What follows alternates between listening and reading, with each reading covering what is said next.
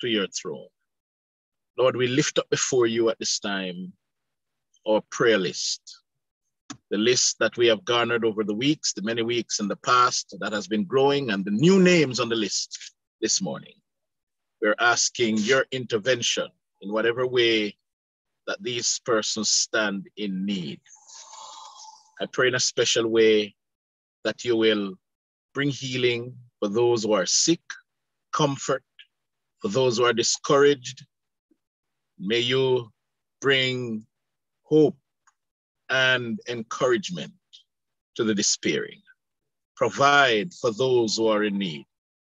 And oh God, we will not tell you what to do because you know best. And let your will be done where these persons are concerned. We pray for Susan, Sister Terry's daughter, and her family. You know what her needs are.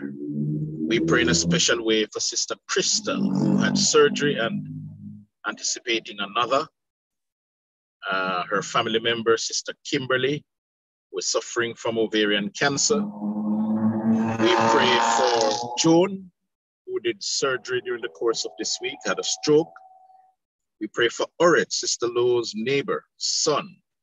You know him. Her mother, his mother is asking for your intervention on his behalf. He has turned 50 years old and still living without the hope of eternal life. I pray in a special way, God, that you will intervene. I pray for Karine over there in St. Mary who lost her mother by accident, that you will be with them, that you will comfort them and their family. In a special way, God, we pray for the other names on the list who stand in need of your intervention at this time.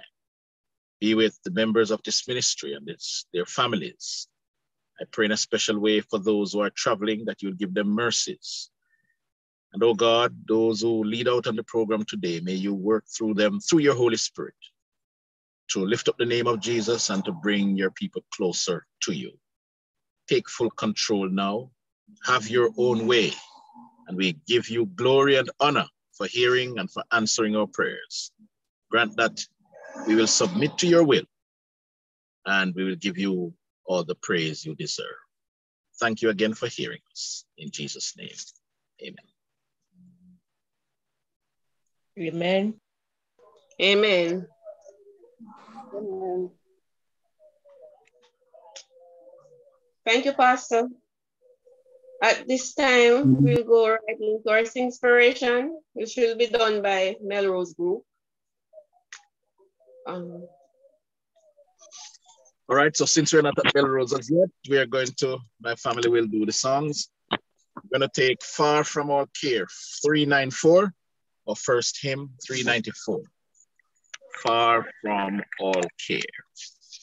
Far from all care, we hear the Sabbath morning, o'er waving fields and from the distant sea. Swell notes of praise in harmony resounding, as all creation turns her heart to thee. Though man alone, Lord of thy great creation, fails now to laud thee for thy love and power, yet still a remnant love thee and remember thy holy law and its sweet Sabbath.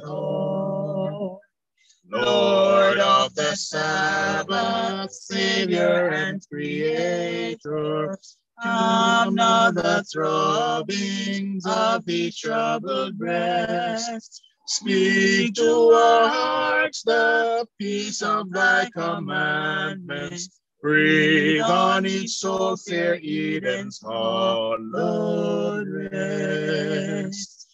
Strong in thy might and quiet in thy meekness, may we thine image bear from day to day.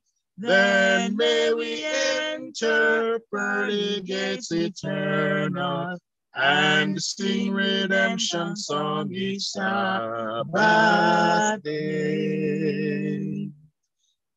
Amen. Next hymn is going to be number one, Praise to the Lord, the Almighty, the King of creation. Praise to the Lord, the Almighty, the King of creation. Oh, o my soul, praise him, for he is thy health and salvation. All you here, now to his temple draw near. Join me in glad adoration. Praise to the Lord, who o'er all things so wondrously reigneth. Shielded me under his wings, yet so gently sustaineth. As thou not seen, all thy desires of me, granted in what he ordained. Praise to the Lord who doth prosper thy works and defend thee. Surely his goodness and mercy here daily attend thee. Wonder anew what the Almighty can do if with his love he befriend thee. Amen. Amen. Amen. Blessings. Amen. Thank you, Pastor and family, for that lovely singing. At this time, we'll have our scripture reading, followed by our prayer, which will be done by Sister Chantel Morris. Over to you, Sister Chantel. Amen. Thank you so much. Um, happy Sabbath, everyone. Happy, Happy Sabbath. Happy Sabbath. Sabbath. Thank you. Thank you. Happy Sabbath. Happy Sabbath. Um, of course, the scripture reading will be taken from Amos 3, verses 1 to 3. So once you have found that, then we should be good to go. That's Amos 3, verses 1 to 3. And it reads Hear this word that the Lord hath spoken against you, O children of Israel against the whole family which I brought up from the land of Egypt, saying, You only have one known, one, you only have I known of all the families of the earth. Therefore, I will punish you for all your iniquities. Can two walk together except they be agreed? Here is a portion of God's holy word. Thanks be to God. Let's pray.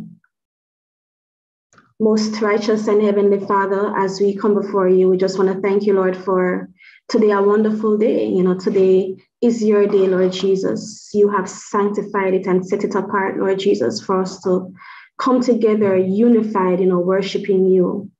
Lord, even though we pray for unity in this congregation, Lord, we pray that this program will run smoothly, Lord Jesus, and that your word will dwell in our hearts, Lord Jesus, so that we may not sin against you.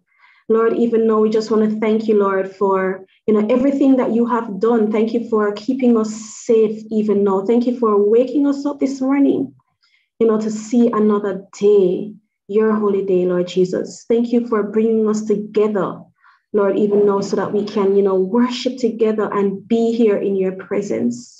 We just want to pray, Lord Jesus, for every single person who is on their way, Lord Jesus, and also persons who are here. Lord, we pray that you'll just continue to bless each and every one of us. Protect our families, Lord Jesus. Protect our going out and coming in. You know, Lord Jesus, we pray for those who are on the road right now. We pray, Lord Jesus, that you will continue to protect and guide them. Even oh Lord Jesus, we just want to thank you, Lord, for this day. Thank you, Lord, for your day. Thank you, Lord, for everything that you have done in our lives. In Jesus' name, I pray. Amen. Amen. Thank you, Sister Chantel. Amen. Amen. God has bound our hearts to him by unnumbered tokens in heaven and in earth. Through the things of nature and the deepest and tenderest earthly ties that human hearts can know, he has sought to reveal himself to us. Yet these but imperfectly represent his love. Though all these evidences have been given, the enemy of good blinded the minds of men so that they looked upon God with fear. They thought of him as severe and unforgiving. Satan led men to conceive of God as a being whose chief attribute is stern justice. But who is a severe judge, a arch exacting, sorry, one, one who is a severe judge, a harsh exacting creditor. He pictured the creator as a being who is watching with jealous eye to discern the errors and mistakes of men that he may visit judgments upon them. It was to remove this dark shadow by revealing to the world the infinite love of God that Jesus came to live among men. We have come to a very special moment in our worship. And this is the El Focus.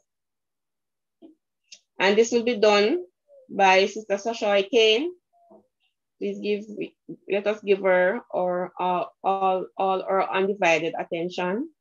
And may God and, the, and his Holy Spirit go through with her as we listen.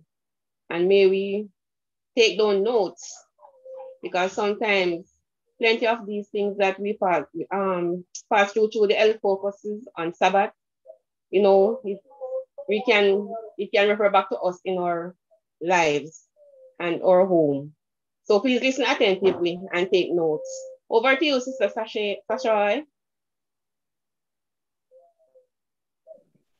Hi, happy Sabbath, everyone. Happy Sabbath. Happy Sabbath, one someone. Happy Sabbath. Happy Sabbath, sis. Okay, all right. Um, before we begin, let us pray. Okay. Our kind and most righteous Heavenly Father, we thank you for this, your holy Sabbath day of. We thank you for waking us up this morning in our right mind, and we thank you most importantly for such a beautiful day. We pray that as we're about to go into the health focus, that you have our hearts and mind in tune to your word, and that we be able to, to receive it and impart it on others and to learn from it and do the same that which was said. Help us to take care of our bodies and to learn of it that you have given unto us. Through your son Jesus' name. Amen. Okay. All right. So um the last time I presented on um the who remember students of the class. Okay, I'm unable to share a screen. Did it have something to do with psychology or something like that? No, sister, no, sister Lou. that was a long time ago. So it was a skeletal system, right? Okay. Right. Okay, so um, can I share screen now? The all disable participant screen sharing. Go ahead. Thank you. All right, so for the last time, um, not sure where we stop, but we can pick up and um, continue. Everybody see my screen?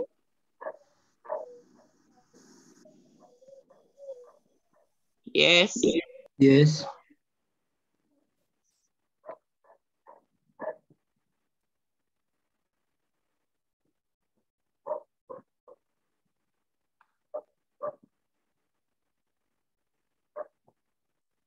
There's a delay. What are you seeing on the screen now? Seriously? Anatomy and physiology. The skeletal system orthopedics.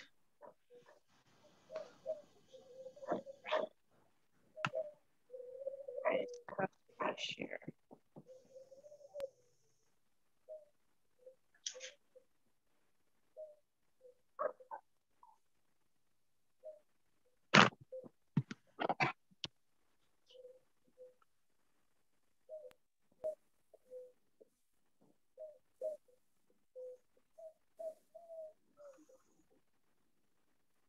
Okay, cool. All right, so we look at the different classification of bones. We have long bones, short bones, flat bones, irregular bones, and these are the classification. Right. Um, I remember where we stopped.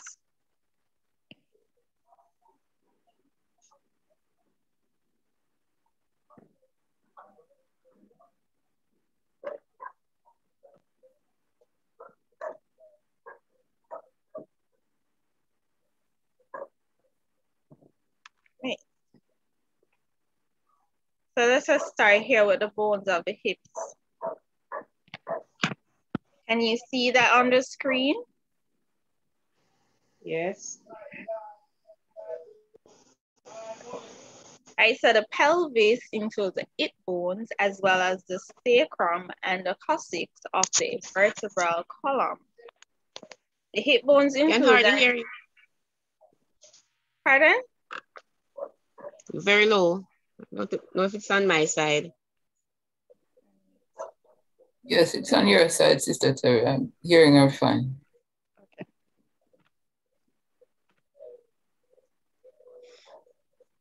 The hip bones um, includes the ilium and the ischium and the pubis on each side of the vertebral column.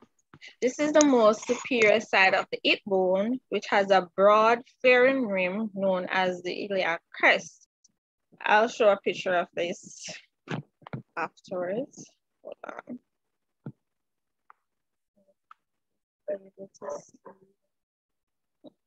Eight. Posterior each um, ilium joins out to the sacrum. The ilium contains the deep socket of the hip joint, and the ischium is the most inferior of the bones. Each of these is one of the seat bones, or what that we sit on, on the two jaws, the bone that is there. The pubis or pubic bone is a small bridge-like bone. It is the most anterior to the hip bone. It is two halves meet in the midline, where they form the pubic symphysis, a nearly immobile joint that has a cartilage pad between the bone ends. The pubis also form the inferior part of the acetabulum. So there's a cartilage there because you know bone rubbing on bone that would be very painful and that would cause um, fractures. So there has to be a cartilage there, like a soft um, area that's where two joints are. So here we have it. This is the tailbone or the coccyx at the very end of the um the vertebral column and it goes through the pelvis area. And that's what we call the tailbone. Right. There we have it.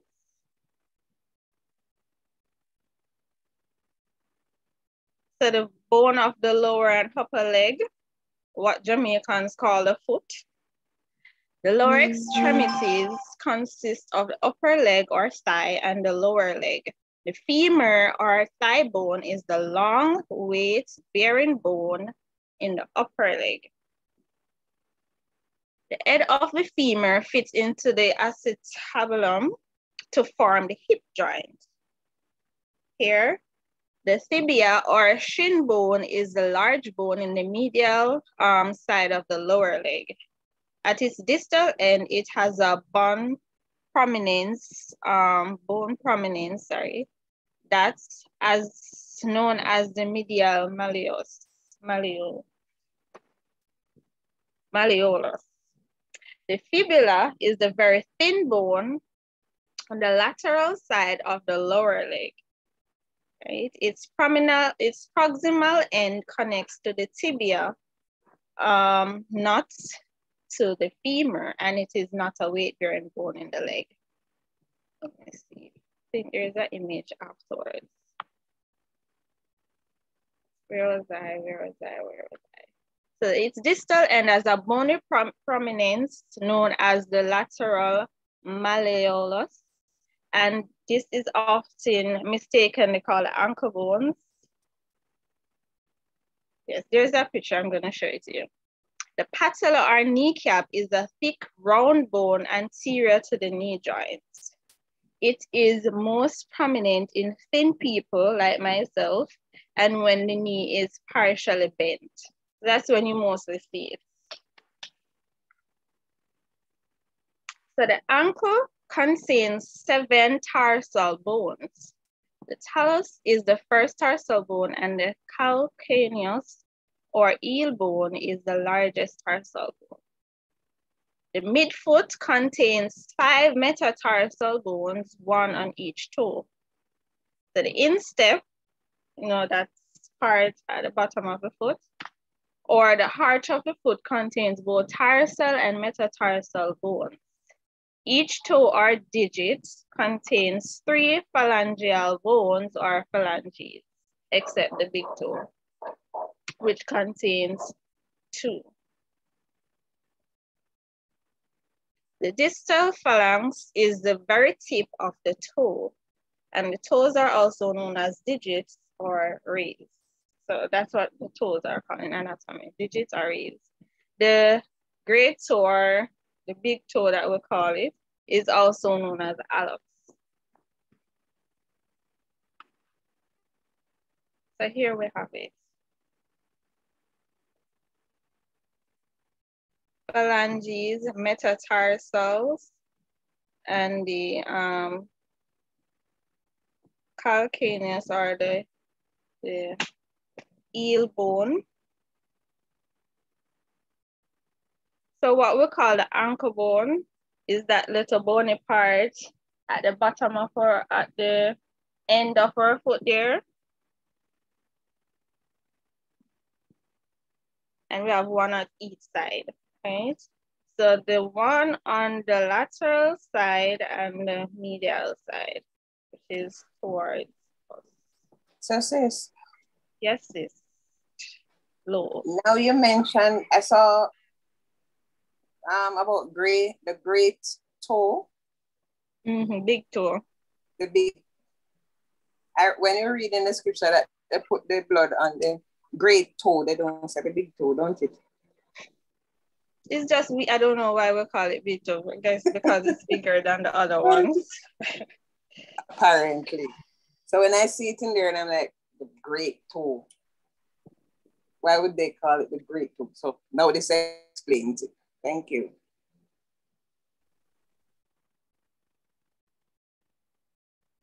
So here where we see a little, it's kind of looks, it kind of looks silverish on the screen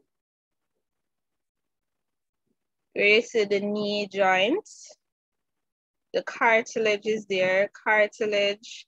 So where the bones meet or at the joints, there has to be cartilage there, else it would rub. And that would be very painful, right? So we are very fearful and wonderfully made. All this was thought of, well thought of.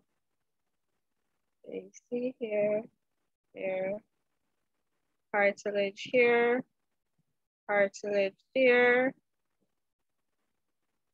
So it's kind of like a glue that gel the two bones together. So let's look at the joints, the cartilage and the ligaments, right? A joint or cartilage is where two bones come together and there are two types of joints, okay? A suture joint between two cranial bone is immovable and contains no cartilage because it can't move. So it don't need a cartilage. And the symphysis joint, such as the pubic um, symphysis or the joints between the vertebrae is a slightly movable joint with a cartilage pad or disc between the bones. Uh, so a synovial joint is a fully movable joint. The two, there are two kinds of synovial joints. The hinge joints, which is the elbow and knee, because those are the most movable ones that allow motion in two directions. And ball and socket joints, the shoulder and hip, that allows motion in many directions. A synovial joint joins two bones whose ends are covered with articular cartilage. Everybody following? So where there is movable um, at the joints, where the joints are movable, there is cartilage there. Okay. Ligaments are strong fibrous bands of connective tissue that holds the bones together in a synovial joint. The entire joint is encased in a joint capsule that has a fibrous outer layer and an inner layer and an inner membrane. This inner synovial membrane produces synovial fluid, which is a clear, thick fluid that lubricates the joint.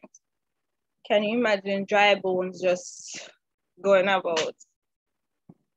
A meniscus is a special crescent-shaped um, cartilage pad found in some synovial joints, such as the knee. I think there's somewhere in the Bible, I think um, Ezekiel 37 or 30, Ezekiel 37, where it was talking about the valley of dry bones, right? And then what did God say? I'm going to put sinews on it. And that's like the connective tissues and skin and so forth right? Because just bones, dead bones. Right, let me, I was, oh, yeah. Right, so there we have it. So the cartilage here, so these are the two bones, bone and bone. And there's a little sac here that uh, lubricates the bone, right? To prevent it from rubbing together. And that's the what? What's the name of that sac?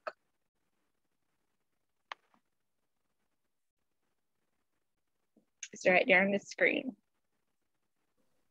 Cartilage. Cartilage. Oh, it's a synovial fluid. Has a fluid in it to um, lubricate the bone.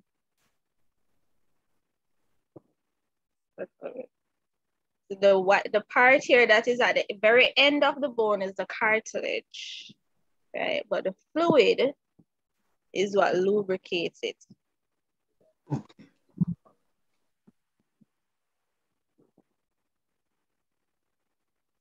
So let us look at the structure of a bone. So the bone or osseous tissue is a type of connective tissue. The surface of a bone is covered with peris, periosteum or thick fibrous membrane. A long bone such as the humerus or the femur has a straight shaft or diaphysis, diaphysis, sorry, and two widened ends, the proximal epiphysis, right? It is as it is at the epiphyseal plate that bone growth takes place. Along the diaphysis is a layer of dense, compact cortical bone for weight bearing. Inside this is the medullary cavity, which is filled with yellow bone marrow that contains fatty tissues. In each epiphysis is can cancellous bone or spongy bone. It is less dense than compact bones and the spaces in it are filled with red bone marrow. So we have the red bone marrow and yellow bone marrow. So here we go. So this is the shaft, right? And we have the marrow cavity in here. And we have the different, the ends of the bone. And this is the plate. And this is a compact bone. And here at the end, we see the cartilage, right? At the very end. Is okay. this the bone that is called the shank? Pardon? Is this the bone that is called the shank bone? We call it shank, shank bone. This is a long that's bone. Right, that's between the knee and the ankle. The femur. And a shank. Same one. You never, you never heard the term, sis? Yes, the shank. Oh. okay. Just like we have big two, I wouldn't know where it come from, the shank. A neck back. All right. Anyway. There's a hand raised, Sister Ken. Oh, okay. Okay, go ahead. I'm not uh, happy Sabbath, everybody. Happy Sabbath. Happy Sabbath. Yeah.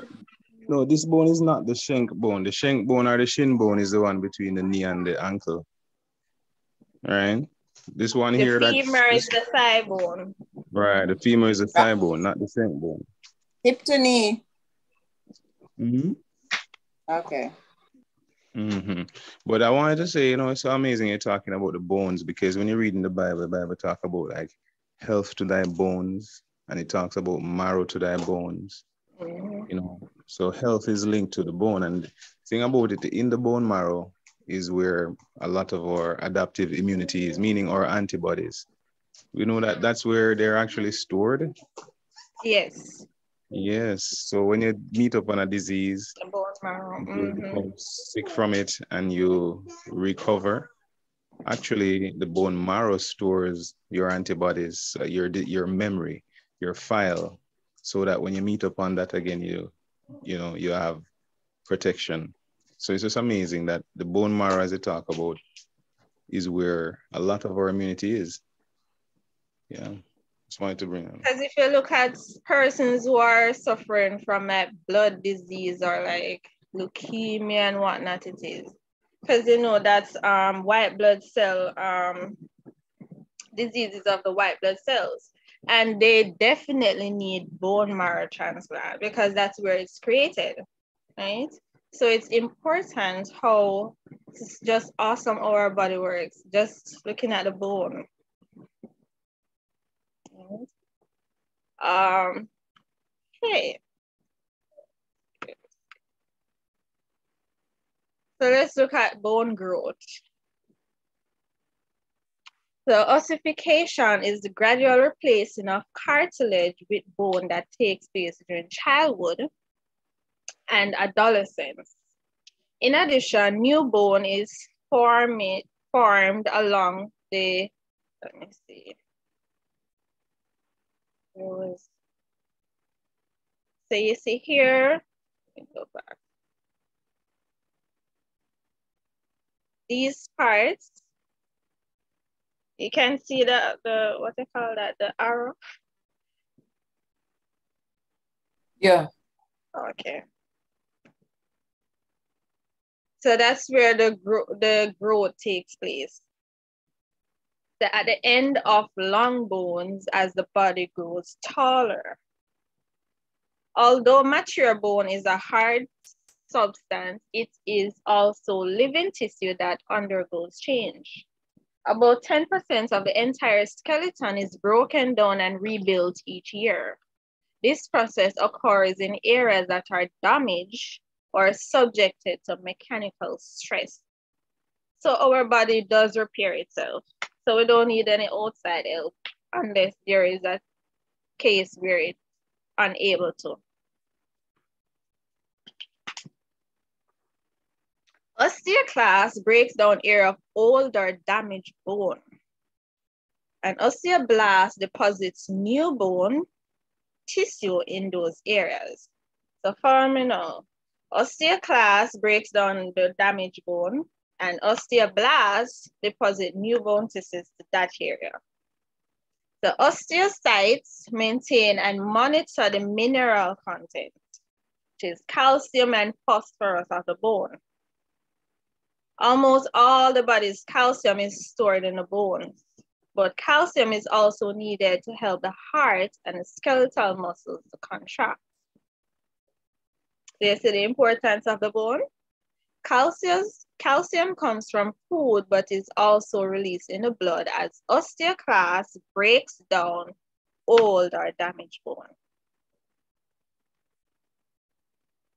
So low calcium, low everything.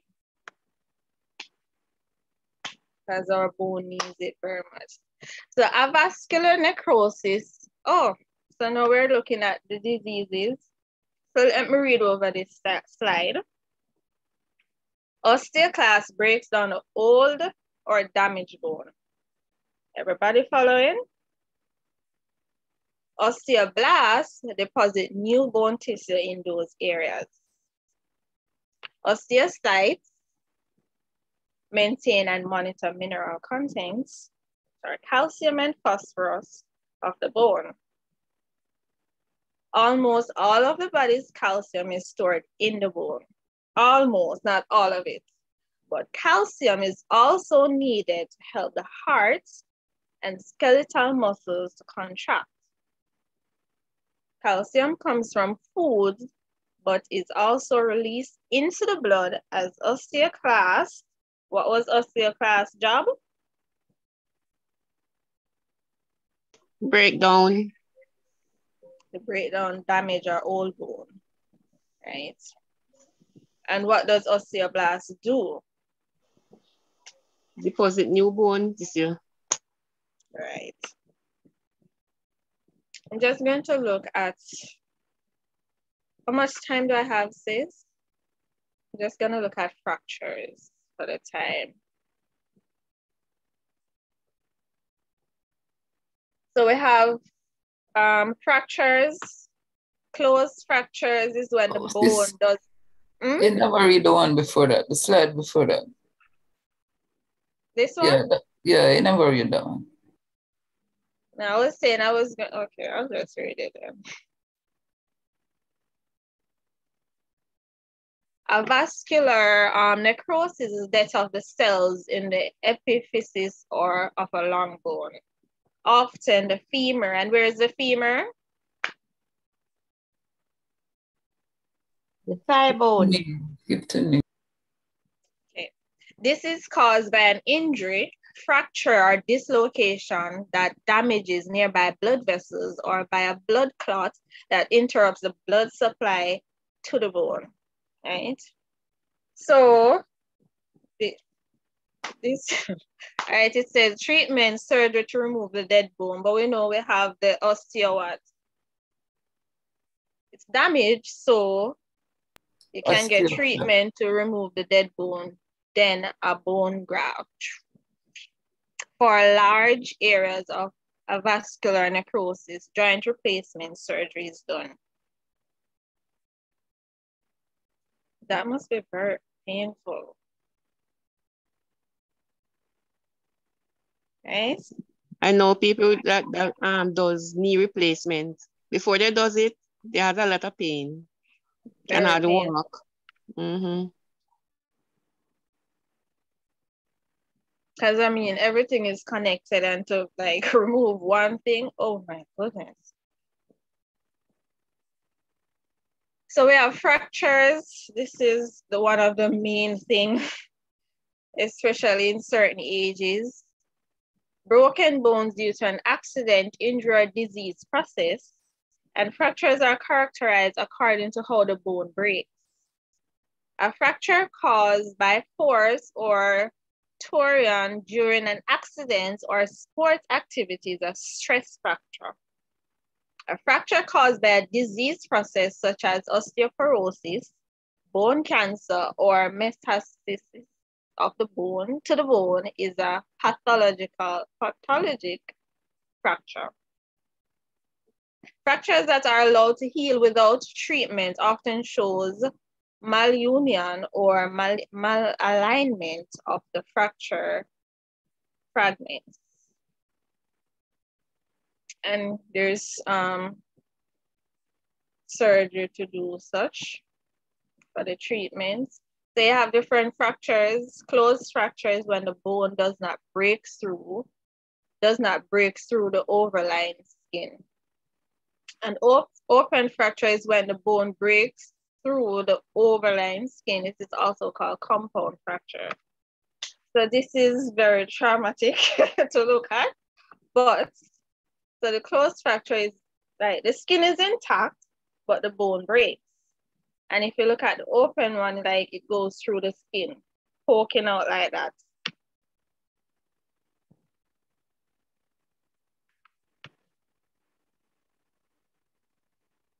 All right, so we have non-displaced fractures when bone ends remain in their normal anatomical alignments.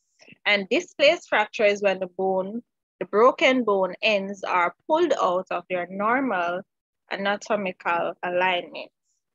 And there we have it. So it breaks, but it doesn't move. It's like it just cut and then the this not this place is when it like it remove it moves or shift. I can break a piece of stick. So the non sorry, the non displaced would be like a hairline fracture somewhat, yeah? Because it wouldn't no. move. Hairline fracture is when you can't see it, but you have to um but it has to be through a what do you call it x-ray. X oh okay. It's just like a little crack very thin.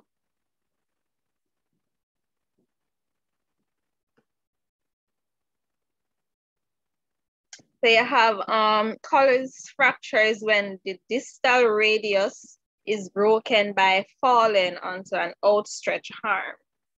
Oh, oh my. and we know where the radius is, right? arm. Okay. This could be one of the most painful. It just looks painful, right? Um, com comminuted um, fracture is when the bone is crushed into small pieces.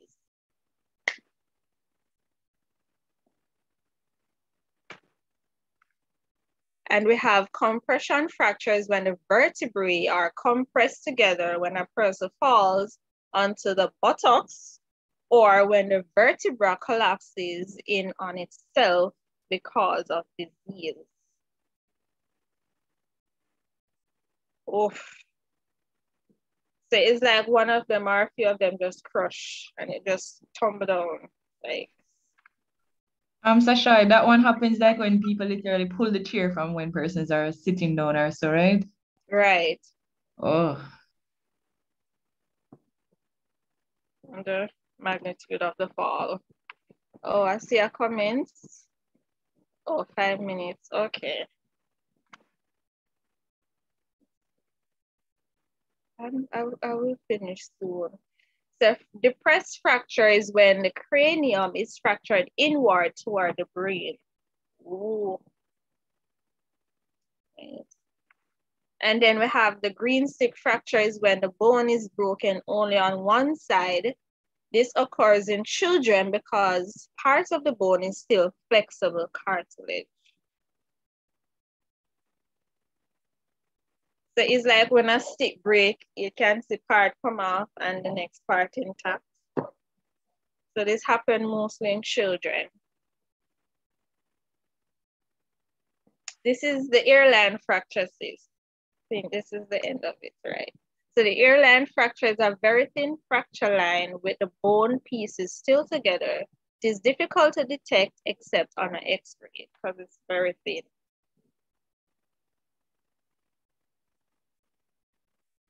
Okay, um, that is it for moi. Oh, I did what I want. Oh, I, did, I didn't highlight this one. Sister Shaw, you can, sorry, I was robbing you of your time. It's up. You can go up until 10. It's not 10 yet. but I'm finished. okay, if there's any question. Yes, question, comments time.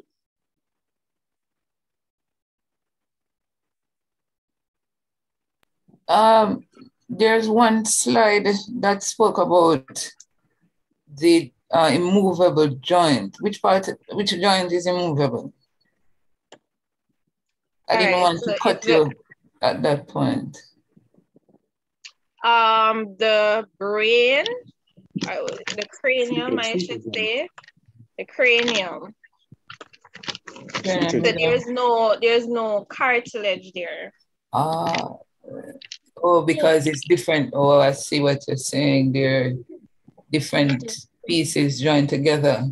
Mm-hmm. Ah, yes, yes, yes, that is true. All right, thanks.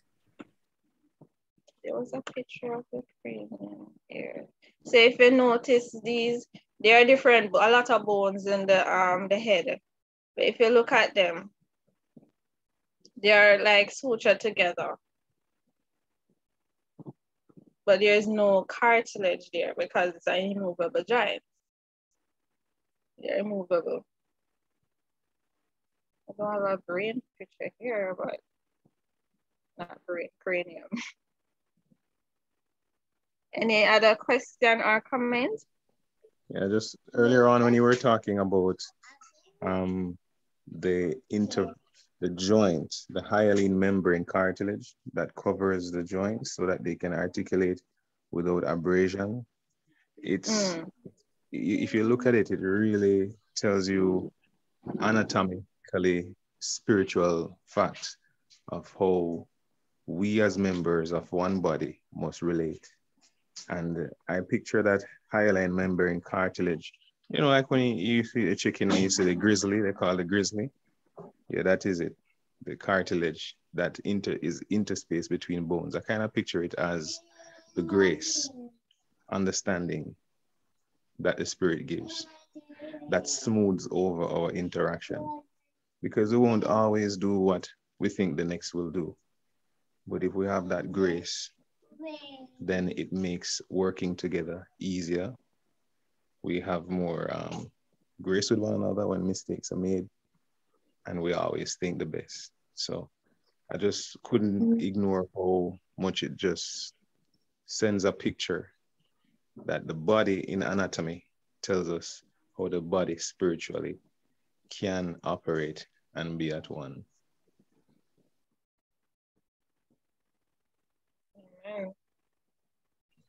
Amen. And also how fearfully and wonderfully we are made. Indeed.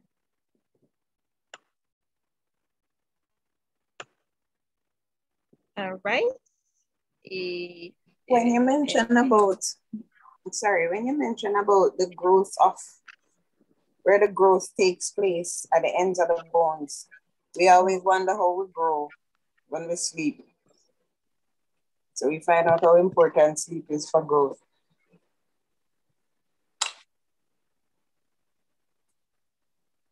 And to know that when we sleep, we have no idea what is going on. We know we go from our baby stage up, up, up. And sleep is that little, that major connection that helps to have the body do what it needs to do for growth to take place and all the other processes. We don't grow well enough. well, Sister Sasha, you know, something that we need to give a deeper look at and understand the importance of calcium in the body. Because most of our calcium is stored in our bones, right? But not only there, but calcium also helps the heart and other parts of the body. Right. No, when we are children, I mean, now we know better, but when we were kids, we were fed cow's milk because of the calcium content and that, you know, we're told we need calcium. No, we know why. But understanding what calcium does to the body, no, we need to understand where to get the best calcium from. From foods, yes, but particular foods have more concentrated calcium uh, for the body to use. Um, so now we, we need to look at where that calcium should come from that the body uses uh, or the bone uses most of, and the heart as well. That's uh, probably something that we can look at at some other point in time. Um, Sister Shashoy, Yes, sir. good morning. Good morning. You said we don't grow, but I don't agree with you. Because You're still growth growing, Brother. Davis? Yes, because Okay. we uh, children are developing, and you said is at the ends of the bone there is growth because of yes, yes, the production of new cells. But our bodies make over ourselves. Didn't didn't we have it that our bodies make over ourselves every month? We every day we have dead cells are dying and cells new cells are made. That is growth. So growth takes place from the from from from birth until death. But I'm Yeah. talking about you're talking about growing up. Yes, we grow up and we become adults, but we still grow all through our life because we cells are made and cells die and new ones are made. Brain cells and I think the only cells that are not remade is nerve cells. But all the other cells of the body are remade day by um on a daily basis. Yeah. That's not what I, think, meant, Brother I think she meant the I think she meant the bones, the bones, because the, the growth plates close up after adolescence, you know. So you have the Right. That's epiphysis what I and growth plate. about. Mhm, And that's why when children But that doesn't stop the bone, production of new yeah, cells. yeah. So the bones, you're you can't grow a height any any any taller. No, you can't grow at all out here with certain, mm. certain, certain, certain, certain age. You know? But choose to use the can word grow, growth. muscles can grow. Yes. But The, the, sorry, the I was really, term. I was can grow. sorry, Elder, I was referring basically to the mere fact that the, the ends of the, when you say we grow from a child up, we wonder how it happens.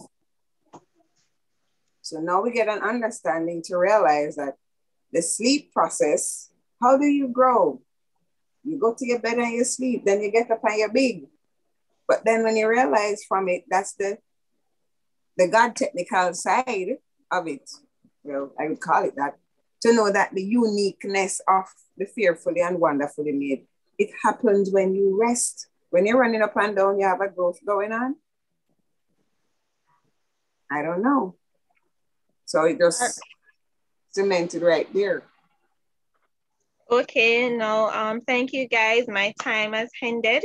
Um, let us continue to um, learn of the body, especially anatomy and physiology, how the body works. Because we were what? Fearfully and wonderfully made. Over to you, Sister Terry. Thank you very much.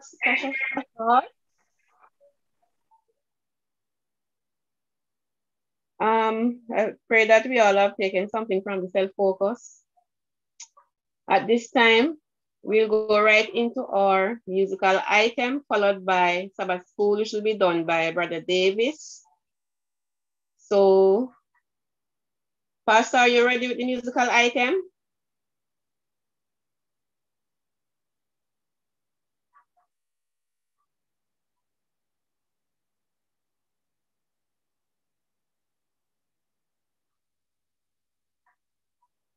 Is Pastor still on? Let's see.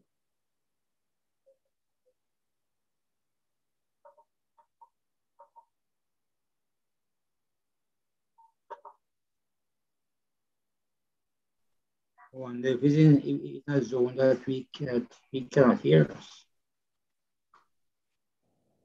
Okay. Brother Davis, can you fill in? Give him, give me the Bible, 272. Give me the Bible. Yes. 72.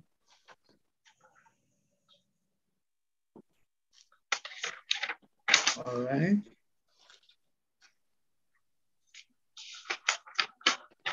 Number 272.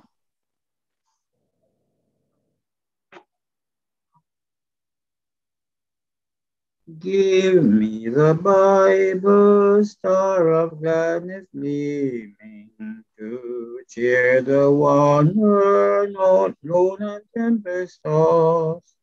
No storm can hide that peaceful radiance beaming, since Jesus came to seek and save the lost. Give me the Bible, holy message shining.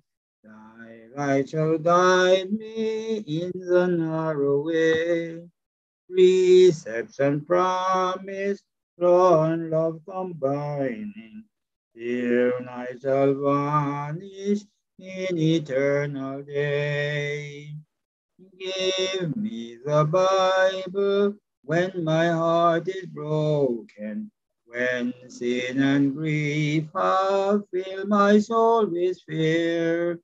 Give me the precious words by Jesus spoken. Hold up his lamp to show my Savior near.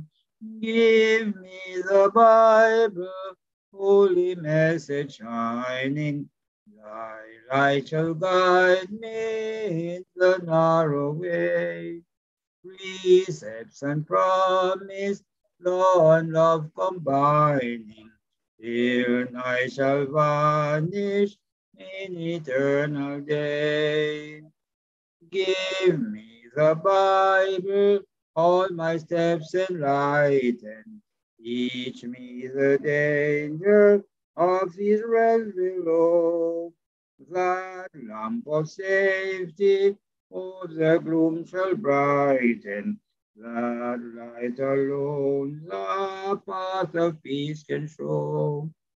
Give me the Bible, holy message shining. Thy light shall guide me in the narrow way. Precepts and promise, and love combined. Till night shall vanish in eternal day. Okay. So it's my time now. Um, it's time for Sabbath school. I'm sorry that I can't, um, this machine says I, I cannot um, turn on the camera so you can see me. So we, we will just go on without you seeing me this morning. This is March 19. And we are talking about the right to dissent. Shall we pray, please? Dear Father in heaven, we thank you for your loving kindness and, we, and your tender mercy. So thank you for sparing our lives. Thank you for your love as we come to study this lesson about tolerance and civil liberties. We pray that you will guide us and help us understand more of your truth and that these things will prepare our minds for the times ahead. We pray in Jesus' name. Okay right of dissent. Welcome to everyone. And may God bless us as we study the word of God today. Um, could someone put up the lesson on the screen for me, please?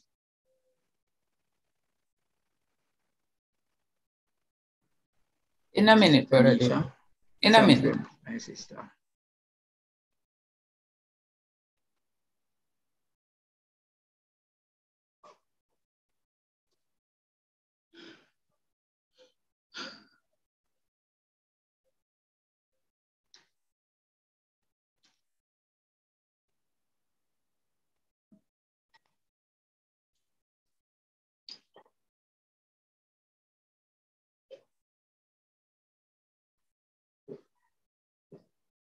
Thanks very much.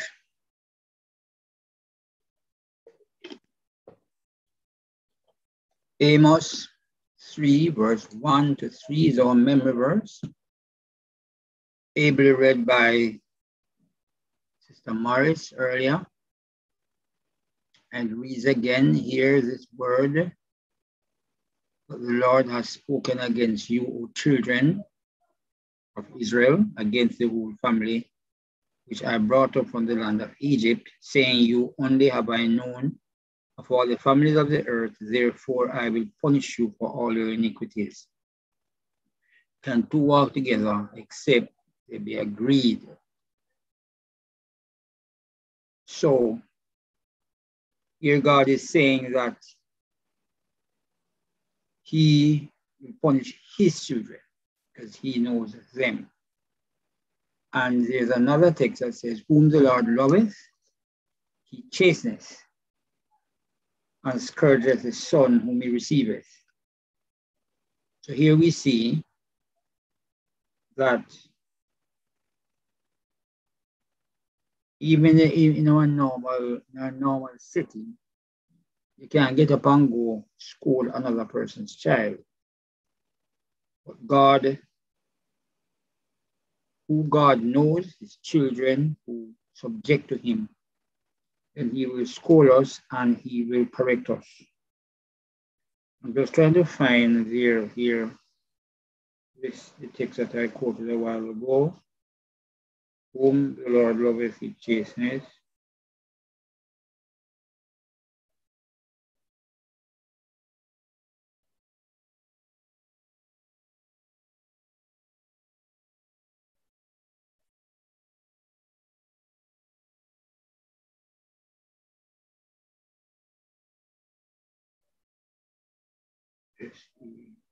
S-E-N.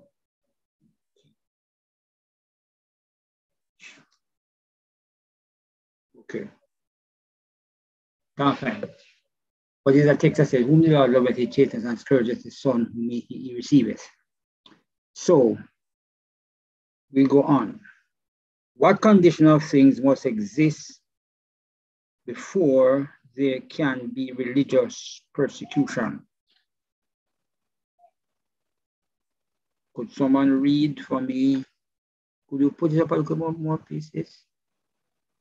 Thank you. Note one. Who could read this for me, please? Could someone read this for me, please? Before there can be religious persecution, there must be a union of the civil and religious forces. Church and state must be united. The church must get control of and use the power of the state before she can punish those who dissent from her doctrines, dogmas, and dictation. Okay. So the church have to have the state ruling. You must have church and state before you can have persecution. And that has happened all of history. So what is persecution? What is persecution?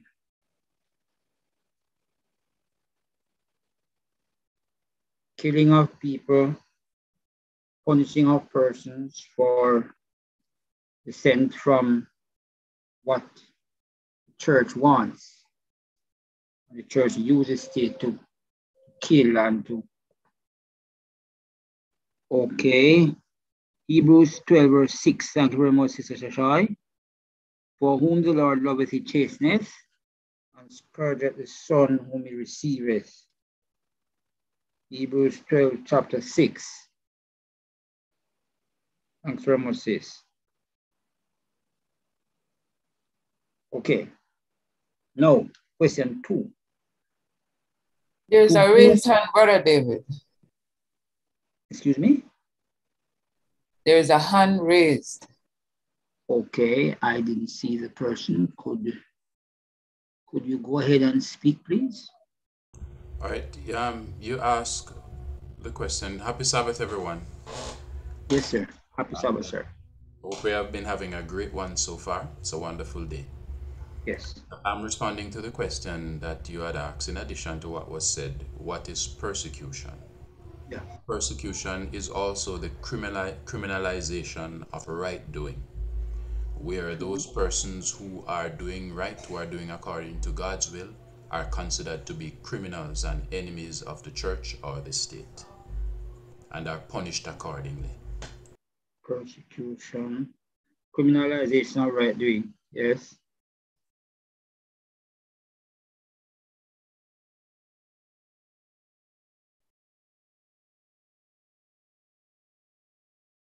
Okay, criminalization of right doing and, and, and punishment. Yes, sir. Thank you very much.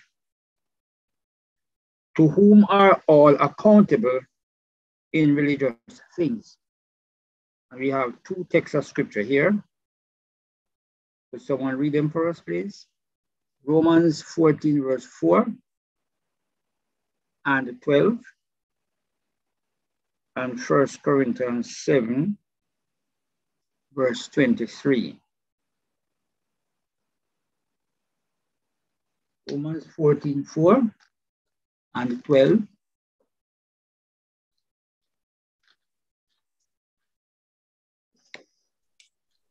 Romans 14, Yes.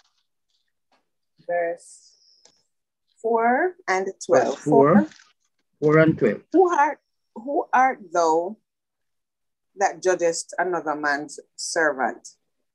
To his own master he standeth or falleth. Yea, he shall be holden up, for God is able to make him stand. 12. So then, every one of us shall give an account of himself to God. Okay, thank you very much, Sister Angela. Blessings. So the question says, to whom are all accountable in religious things? And this text says, the man, the servant, it is him and the servant having the matter, and God holds them up. But verse 12 says, everyone will give an account to God. Now, 1 Corinthians 7, verse 23, he says, You are bought with a price, ye shall not be the servants of men. So, that price is the precious blood of Christ. Christ is the precious blood of Christ. Um, you are bought with a price. Precious blood.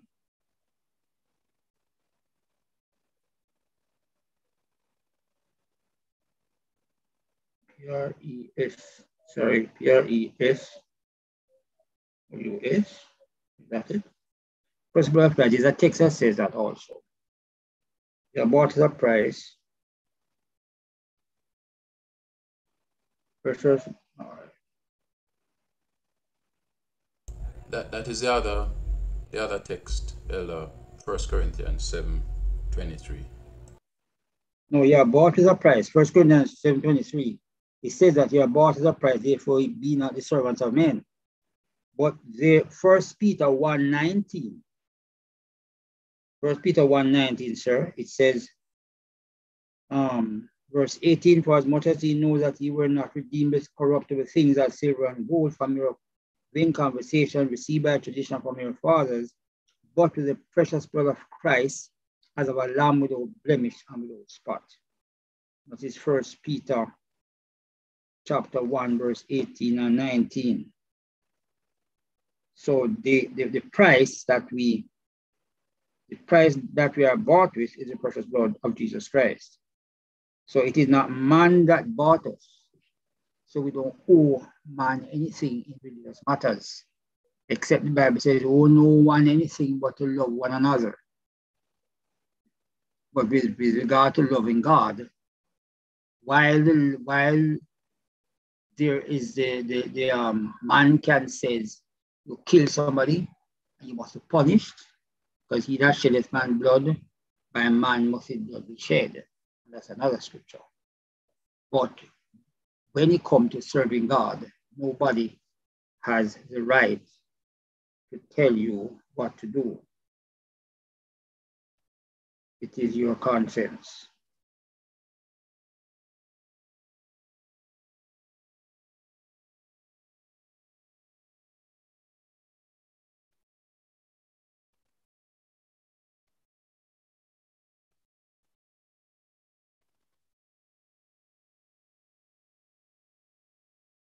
My man must have blood be shed. He that sheddeth man blood.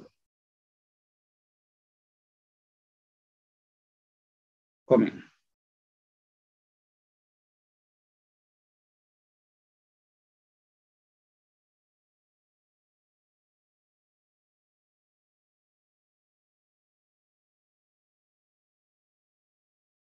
While you get to it, Brother Davis, and this shows us, you know, how God deals with us. Yes, He- sir. Yes, he doesn't force anyone else to worship him. He doesn't compel. Yeah. Um, Thank you. In the book Patriarchs of Prophets, Mikhail, in the books Patriarchs and Prophets, you know, volume one and two. Well, in the early part, he said that God desires service of love out of appreciation for his character. So he wants people to choose him.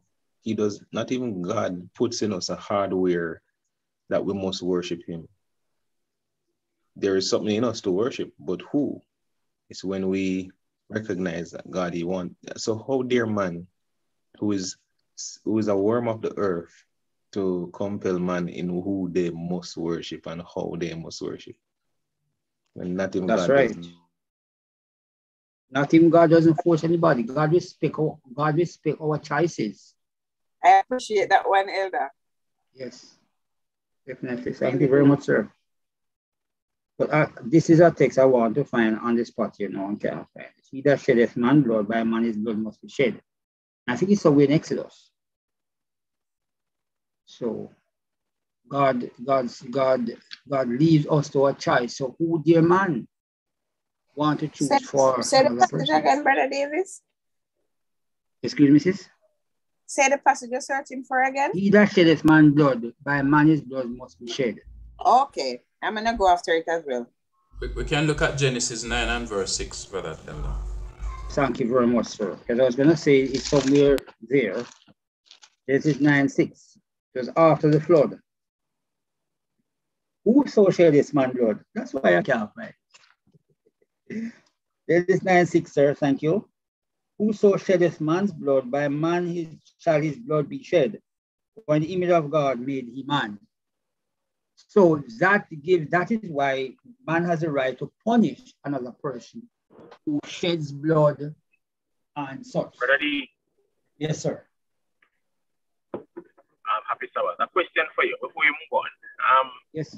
earlier in the previous question, you said we ought to leave it to a man's um, conscience to, I guess, to act or do whatever it is. So then my question would be, what is conscience?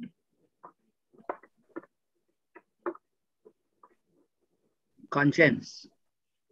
Conscience is what God puts puts in you and work you by his spirit to, to, to, to do right or wrong.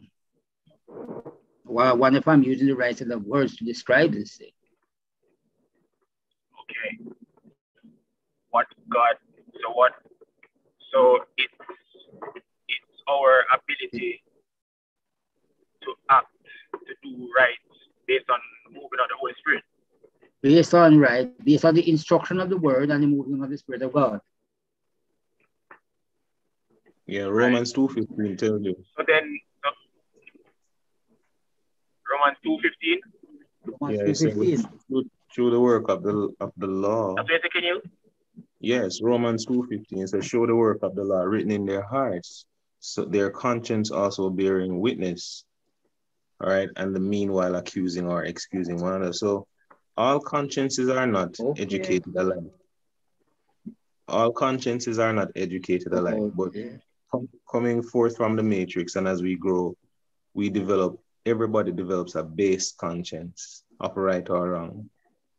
All right. But that conscience now needs to be educated and elevated by the word of God. But if you take it back to the simplest form, um, people have different consciences But no matter how skewed their consciences are, you can't force a man conscience.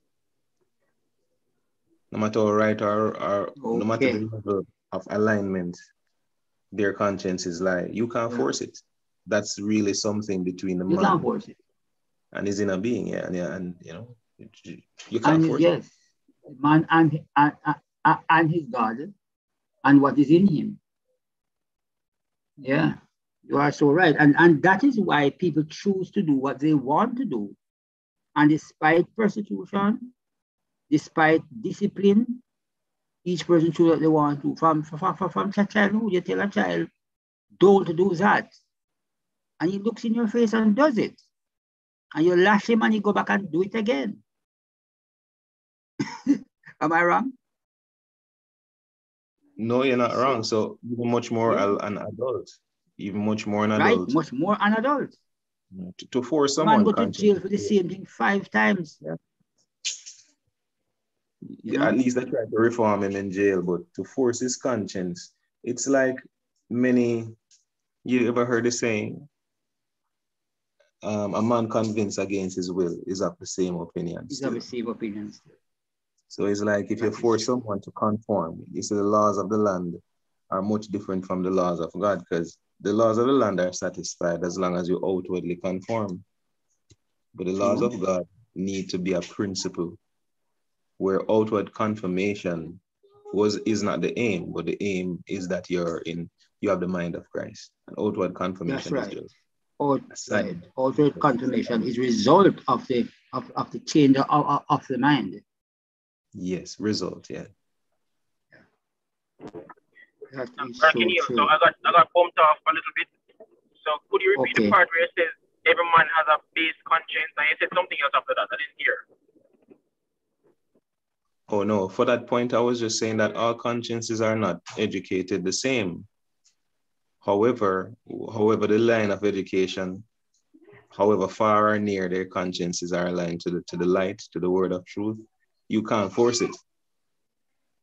You know, you just can't force it. Let's say a man genuinely believes that for a simple thing like you know Sunday is a Sabbath.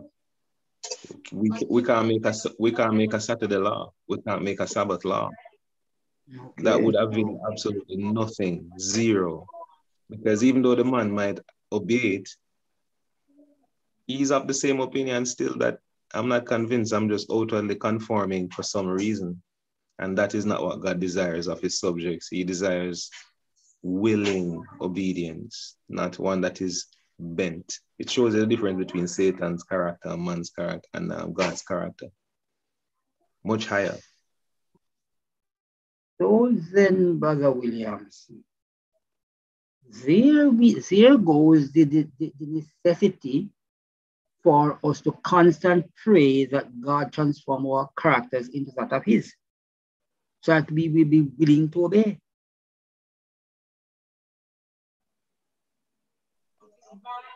Am I wrong here? No, willing to obey is different from being compunct, you know, a compunction by That's right. an outer force. Willing, willing to obey That's obey right. is joy. You know, it's, it's joy to doing it. Just like the Bible says, uh, God loveth a cheerful giver. Man can give. That's right. Well, meaning that oh, there's some feedback there. All right. Yeah, what you get, yeah. I, I agree with you. Yeah, man. It, All right. it, it, it, really need to pray. I'd, I'd like to um to share in relation Yes, to what William says. There's a, a there's a passage of scripture in Romans chapter two where it speaks about Mm-hmm. speaking about the judgment, God's judgment by the law. It says, "For for as many as have sinned without the law shall be What's the first please? without the law, and as many that What's the as many verse, as please? have sinned in the law shall be judged by the law. For not the hearers of the law are just before God, but the doers of the law shall be justified. For when the Gentiles, which are not, which have not the law, do by nature the things contained in the law, these having not the law, are a law unto themselves. And it goes further to say, which through the work of the law written in their hearts, their conscience also bearing witness, and their thoughts the means while accusing or else excusing one another. So, regardless of where we are in terms of us educating our consciences, as Brother Williams um, indicated earlier, we are going to be judged based on, on, on what we believe is right within our hearts, within our consciences. So, our, our moral compass can be further directed or sharpened by the Word of God and, and, um, and by, by, by God speaking directly to us. But if that if that is not the case at this point in your experience, then your your belief of rightness and wrongness is what is going to be guiding you in terms of what you do as a as a human being in the sight of God. And this is how God will judge us in uh, according to what Paul put in Paul's letter to the Romans here in chapter 2. So um we, we cannot force anyone to do something against what they believe is right. And I think that is it. That is the point. I, I believe that is being made.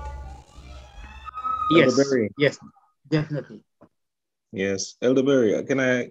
This is why a conscientious objection to something is such a grave issue. If somebody has a conscientious objection to a medical um, intervention, for example, to force them against that is to is to rob them of a very vital portion of their humanity that God made them with because governments cannot grant freedom. God already made man free. The all governments can do is take it away. All right.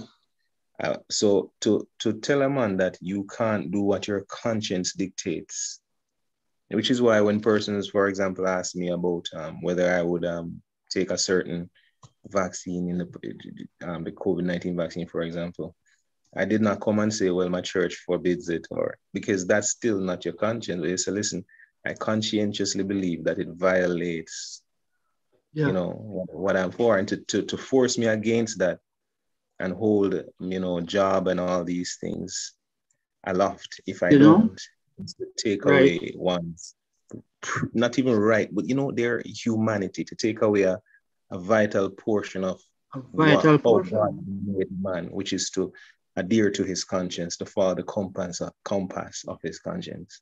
Yeah. Um, can I can I jump off the lesson for a bit and say and and uh, just I, I just remember this as Brother Berry was talking. Um, in medicine, in, in, in nursing and pharmaceuticals, they put sugar in medications for children because the, the, the, the, the- matter is that you mustn't force children to take medication. So you put sugar in it and it, it, it, it, it, um, it, it make it acceptable to them. So it's the same thing with, with, with, with the conscience. You cannot force somebody to do something. It's against the law to force. But when you see no, come now with this matter of force to worship. So here, here, here we go. Question. Therefore, when men attempt to control in religious matters, what have we right?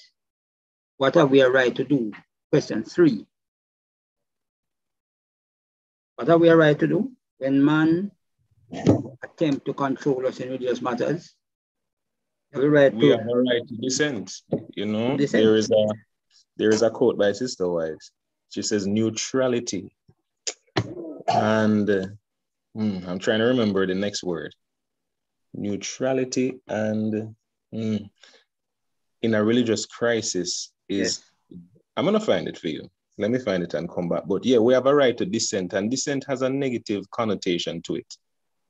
You know, if you hear the Yeah. word dissenters, there is a, a even the word rebel, you know, mm-hmm. but a dissenter is normally seen as a rebel. Yes. But there are times when dissenting and rebelling against a system which has gone awry is necessary. I'm Very find the quote. necessary. Very necessary. And as we go on in the lesson, that point will come out as well. Okay. Until you find that statement, sir. Question four. What is the meaning of the term tolerate, tolerance, and toleration? And that is note two. Could you um yeah, yeah note yes. could you scroll up first, please, sis? Note two. Yeah, we're looking at note two. Yes, thank you.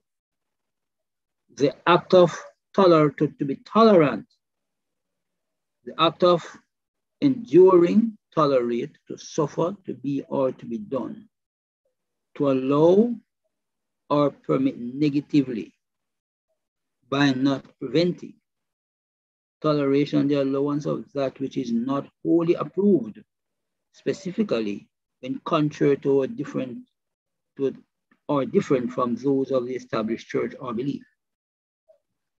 So is toleration something good or bad? Because toleration is not is not to is toleration just to allow things to happen when you disagree with it. You don't agree with something, but you just allow it. Right. So to- toleration is not the same as liberty. That's right. Right. Freedom so is freedom. Yeah, liberty and freedom is where you the, the someone's right to practice Right. something different from you. To practice. That's right. Yeah. Toleration is where you're giving them time to come around and you hold them in a sort of mild contempt. Right. And you're just waiting. Just like right now, I, I thought I watched a video recently that they're, you know, asking people how do they view the unvaxxed. And some people actually say, listen, my patience has run out. So you, you realize that it's hmm. toleration and not so much as no, they have practiced their right right. and I respect their right. That's that would be freedom and acceptance. But toleration is like uh, you, you you need to do what we're doing. The government has give you given you free gifts and all these things, and you're still Mhm. not coming around. I have lost my patience, and same thing with the Sabbath. You know, as it's going Right. to come down to not accepting that they are informed differently and their consciences lead them in a different way. Therefore, let them alone. They're going to be saying, well, they need to think as we think. You see, it just smacks up the devil and how he operates. Right. So so that is where that is where you're gonna have a situation where persons are going to be killing each other and they, they, they, they give them the go ahead to kill who you want who is not complying with the standard set. And I think this this kind of mentality is being developed by this COVID-19 issue with the with, with all this vaccine situation. That, that's how I see it. I, I don't know how others see it. I think this is an education to the public that will develop wherever it, it, it, it, it will begin to develop. But question five here, what does toleration imply? Could someone read, read through this list for me, please? Is an implication for toleration. What does toleration imply?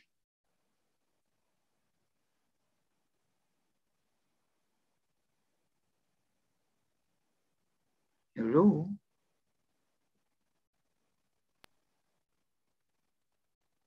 Hello? Could someone read the note for me, please? Okay, I was just looking for the quote, but let's read the note. Oh, it's gone. Yeah. Hi. Religious toleration, the best fruits um, over the, what's that? Colonnades. Colonnades fronting the lakeshore of the Chicago World's Fair of 1893 was this motto Religious toleration, the best fruits of the last four centuries. If this be true, then the fruits of these centuries have not been the best, for religious liberty is a long way ahead of religious toleration. Toleration is freedom recognized not as a right, but as a favor. Toleration implies heretical and disapproved, but permitted.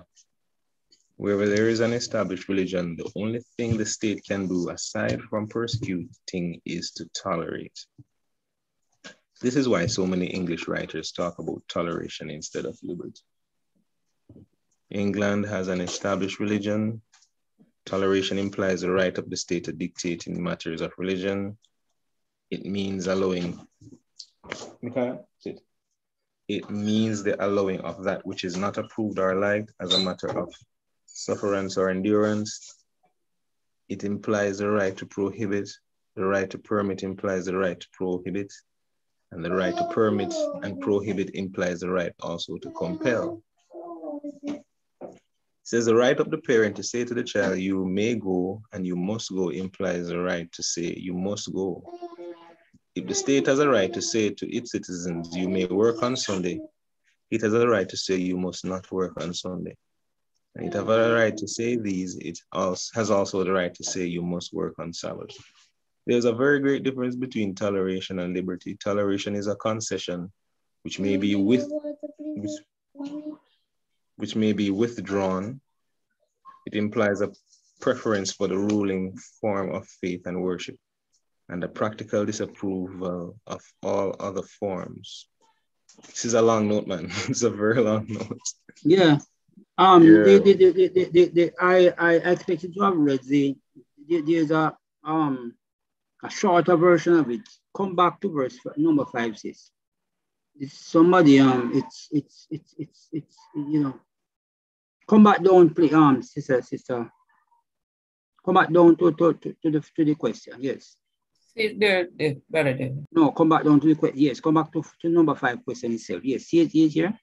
The right to dictate religious things, allowing that which is not approved, the right to prohibit and compel, right? And this is this is a um this is a, the, the note in short. So you have an established form and you, you tolerate the person who who, who do because he you say, all right, to give him, as you said earlier, Brother Williamson, you give the person time. But at the same time, you retain the right to come to say he must boo, he can do what he doesn't want to do, but he also must, you it's also the same, he must do it. And if he doesn't do it, then he'll be punished. And that is toleration. So you tolerate a child now, and tomorrow you lash him for the same thing that he tolerated yesterday.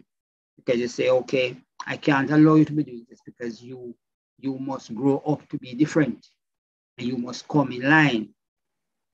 So toleration is, is, is to allow someone to do as they please within your wishes until you choose otherwise.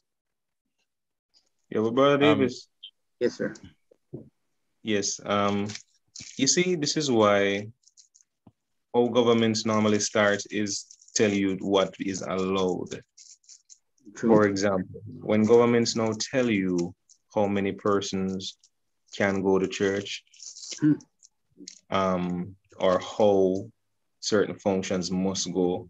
It is a creeping, it's a creeping thing because it's easy now for government to get overarching and say, well, in the past, we have the precedence of telling you what to do and you did it for a certain contingency or emergency. Well, now we have another one. And um, this is what we're saying. You see, so I believe that in a way, even the, the, the pandemic and how it played out, it has allowed the mm-hmm. services of the church to fall into the hands of Caesar in a certain way. Because there's a social aspect of the yeah. church as well.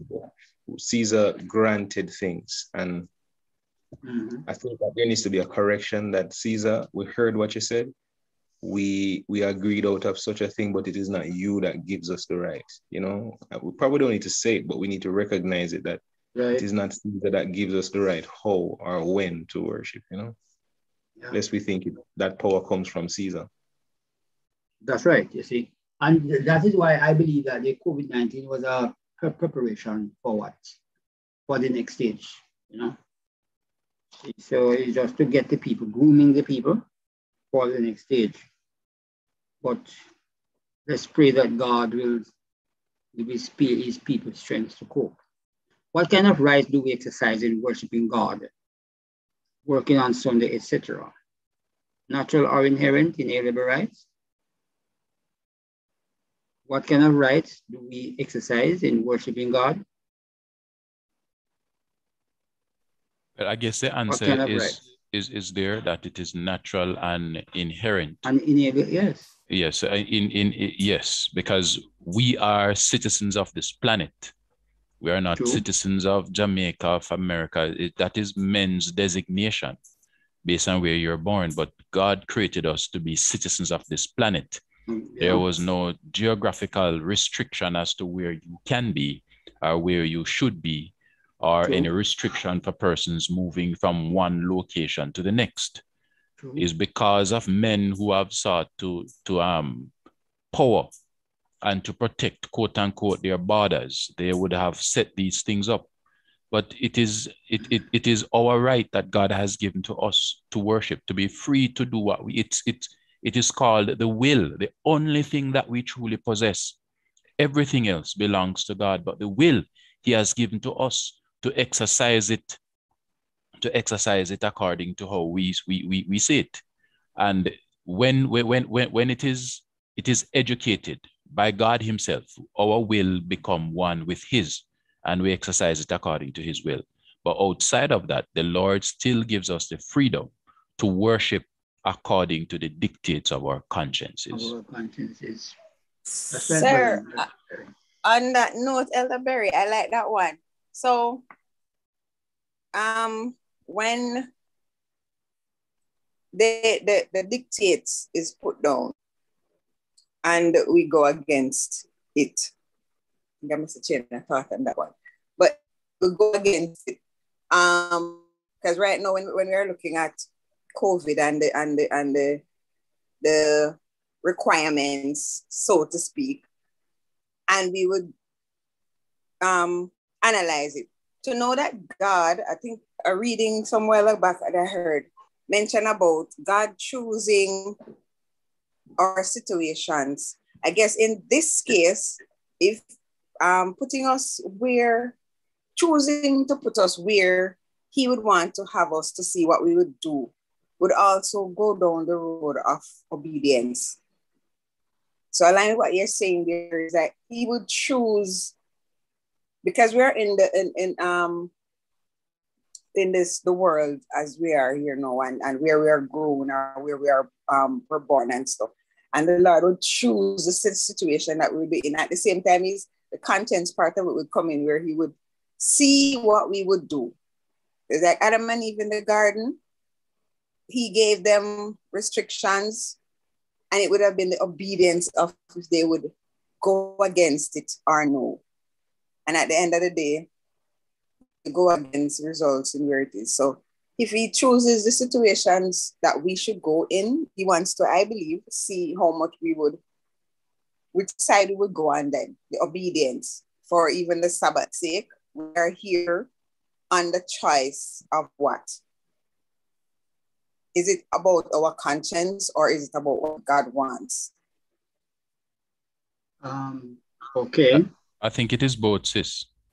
It's both our consciences and what God wants for us, because God wants our consciences to be aligned with His will.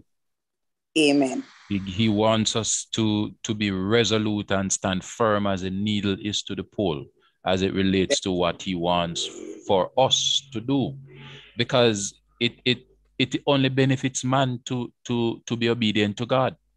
And you That know it, it. it it is a blessing to have children because a lot of times your children do a- against what you really want them to do. But you as an adult you see what is best for them and you act in their, their best interest. But sometimes you know it doesn't matter what you do they still go against what you line, yes. you know so it, it it brings a different kind of feeling though when Yes. your child decides to align his will with what you really want for them true. you know True. and it, it, is it is clear to us that having children is a is a indeed a great blessing to mankind because it Amen. helps to put us in the place of god as it And relates to us as yes. so we And can clearly ourselves. understand yes True. indeed what god goes through to and know what he really wants for us child, yes, to know that you were a child and things that you used to do, and you see your children doing them now, and you're about to reprimand them, it bring you back to when you were small and like, oh, this my mother did I beat my father. All right, so no worries about. it. And it, it really puts you in that spot because I have a friend who have he said when he's mm. gonna reprimand his children, he takes them and sit them down. All right. You remember when you did this and that? What you think I should do with you on that note? And him said sometimes when he remembered it for himself as a child, he was like, now that I'm an adult with children, what I would have wanted, now I'm seeing why what was done to me then was important. So now I'm about to do it to my child. I'm going to let them see why it is important. So it really does, it really mm-hmm. does make. Um... Yeah, because it takes me back to the memory verse, to the, the, the, to the, the, the, the scripture I read earlier. You only have I known of all the families of the earth, therefore I will punish you for all your iniquities. Yes. Okay, we're moving on to moving on to number seven. I've covered a whole heap of time. Can the state give men rights which inhere in men themselves?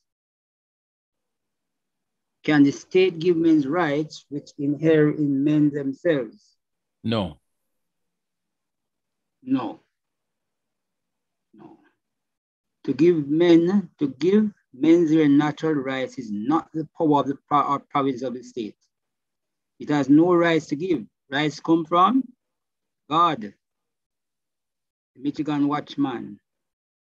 Michigan Watchman of June 1892 failed to comprehend this when it said the only legal right the Seventh-day Adventists have to do secular work in shop, in house, in field, or to run their presses, their publishing concern on the Christian Sabbath is a right given to them by the state on religious grounds only. No, that's not it. The right only God can give it, because only is God make us, and he say, you are bought at a price, therefore be not servants of men. Question seven, question eight. Somebody ha had, had a point to make? No, I'm saying, do you see it? This is the exact thing. That, that state, you know, got bright and said that, listen, we give it a right. Right. And um, just a asked a question earlier on, and it's not that we go to disobey, no.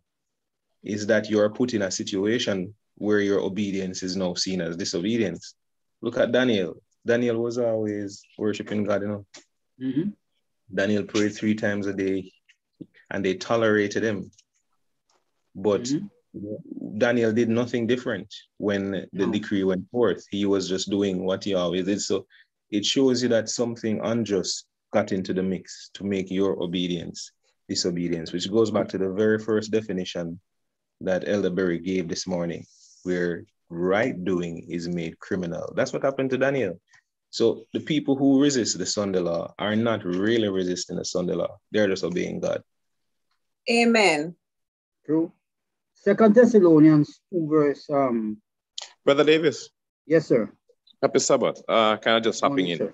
Um before we go any further, um earlier on you mentioned about if the states give the right. And when I think about it and think of the laws of God, um, you know, we, where the state part, the state's part, or where Caesar is concerned, is what has to do with the last, the last six of the commandments, not the first four. Right. Yeah. Right. And yes. so, in in essence, um, the state is actually supposed to preserve, help to preserve those rights.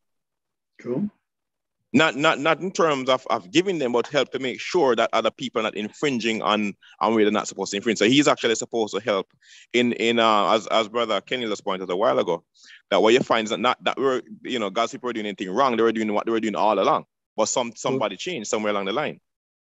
So so the state's position is to help to uphold what that was already in place. That was right. Okay that that put me that the points that that, that the last two three points made. Remember Second Thessalonians two verse four. He say, "Who opposes and exalteth himself above all that is called God, all that is worship, so that he as God sits in the temple of God, showing himself that he is God."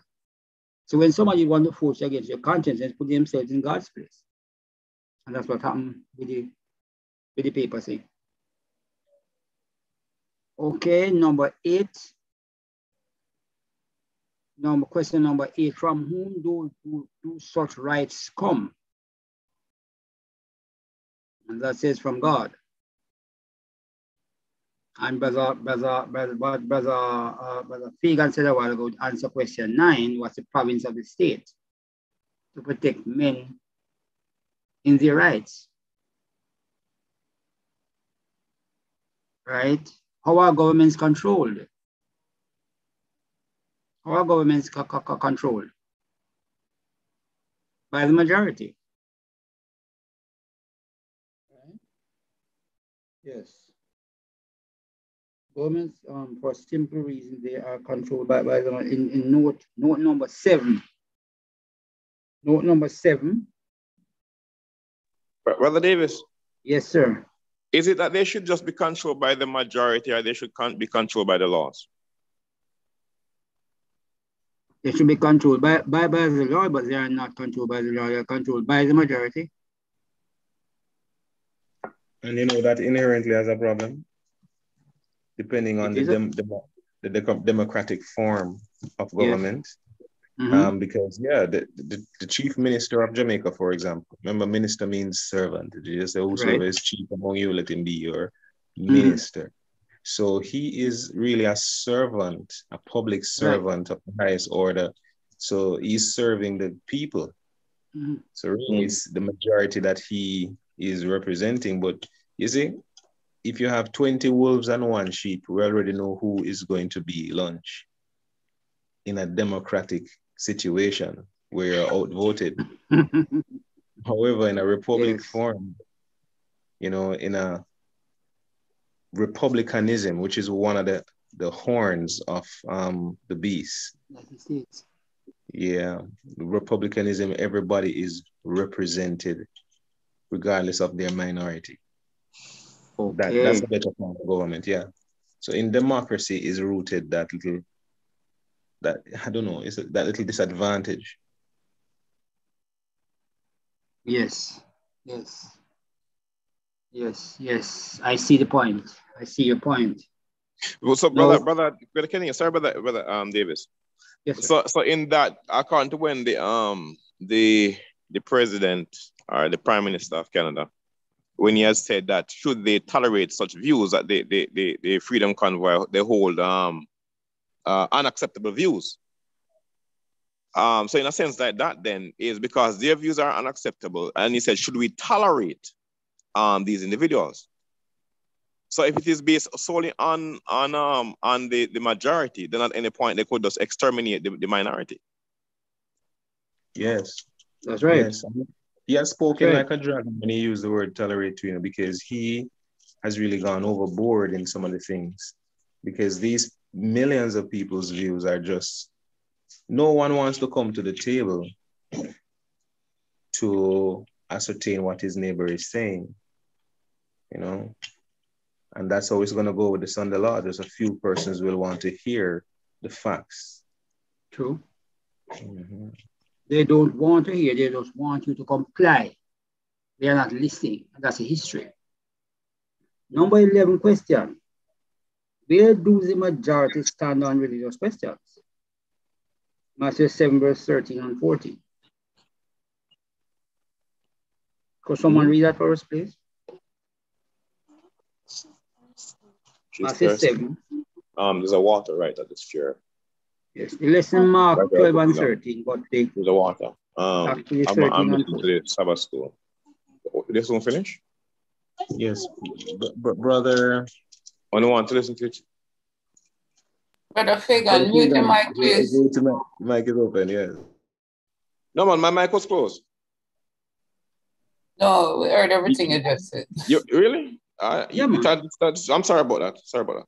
Close it now. Um, yes. 11. Someone read Matthew 7, verse 13 and 14 for me, please. Um, Matthew, it's, it's 12 or 12 and 13 or 13? The lesson mark 12 and 13, but what I'm looking at before me look like 13 and 14. Okay. You can read 12 to 14. Says, all right, it said, therefore, all things whatsoever ye would that men do on do to you, do ye even so to them. For this is the law and the prophets. Enter, enter ye in at the strait gate, for wide is the gate, and broad is the way that leadeth to destruction, and many there be which go in thereat. Read verse 14 now, please. It Because strait is the gate, and narrow is the way, which leadeth unto life, and few there be that find it. I understand what you're saying now, Ella. Yes, sir. Okay, so where do the majority stand on religious questions? Majority stand on the wrong side. Always stand on the wrong side. True, true. See, Ma- Macaulay, yes, Macaulay in his, in his essay on Gladstone said, have not almost all the governments in the world always been in the wrong on religious subjects? Indeed, they have. And for the simple reason that they are controlled by majorities. The majority are almost always wrong on religious subjects. They are wrong on the subject of the Sabbath, and this manifests itself wherever government legislate on the question. They favor and defend the Sunday, the papal Sabbath, and not the seventh day, the Sabbath of the Lord.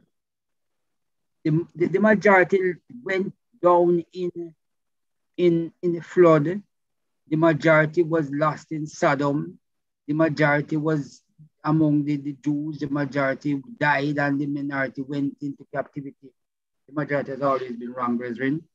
What scripture is sometimes cited to show that we are under obligation to obey whatever laws men may make. Romans 13, verse 1. Romans 13, 1. And if we read down to um, beyond verse 1, they will understand what it is saying because they're going to use verse 1 to, to, to, to, to, to, to, to say that we must, you must just obey what they say.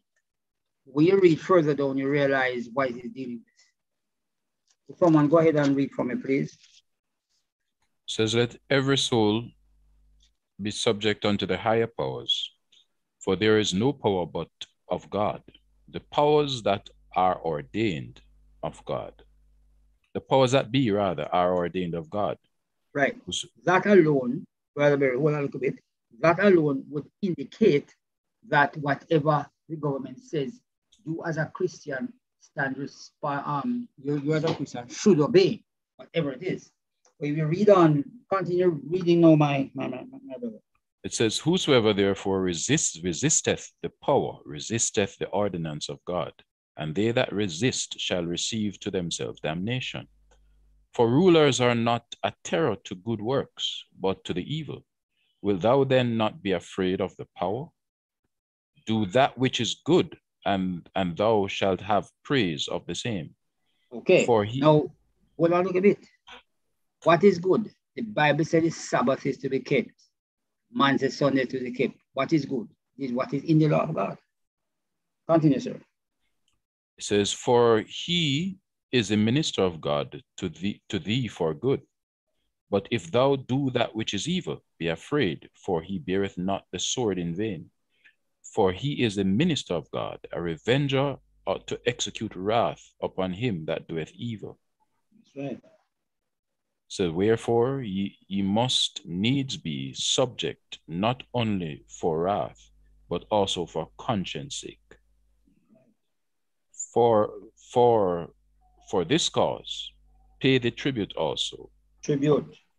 For they are God's ministers attending continually upon this very thing. Render therefore to, to all their dues, tribute to whom tribute is due, custom to whom custom is due, fear to whom fear, honor to whom honor. Owe no man anything but to love one another, for he that loveth another hath fulfilled the law. Down to verse 9, it, it, it lists the 10 commandments.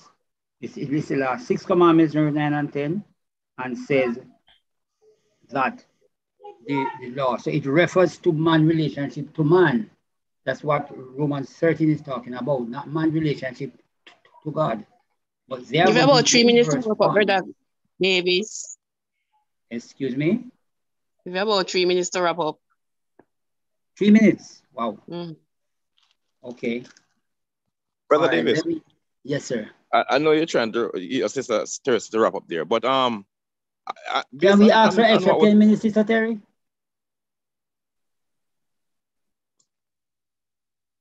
Can we ask for the next 10 minutes? Mm, okay, go ahead. All right, thank you. Go ahead, brother. Right, something based on what um, Brother Berry just read, um, in terms of the role of the government and what they should be doing. So what happened then when we find um, that the government is basically acting out the mind of, of Satan in terms of being the dragon and, and persecuting God's people? What has changed? What caused that? You answered it in the question that you asked. It is the mind of Satan that, that is acting out against God's But, but but what, what how how does he get to that point though? Because the Bible is saying that this is what he's supposed to do. And um and maybe to some extent imperfect as it is, you might actually find some of that happening. But there come the point now where where this power now turn as it were and is persecuting those that he's supposed to be protecting. Right. What would have caused that? It, it, it, it what? It is Satan that is controlling the, the, the, the, the earth, controlling the minds of, of humans. Could we say that? Because this, this, while in Babylon, yes, you had um, a small amount of persecution, the greater part of persecution came when the when Rome came, when the earth was at its worst. Mm-hmm. So, so I guess in, in a sense, we were seeing in terms of in the Christ days that it was Satan that moved upon um upon upon upon the people, and in the end, again, it will be Satan. But at the same time, what we see in Revelation 17 is that the the, the dragon or the uh, the government powers is being directed by this woman that's writing it. Yeah. Anybody have a favorite song they want to sing? And she is already drunk with the blood of the mother. Higher ground. Could you turn off your mic, please? Yes.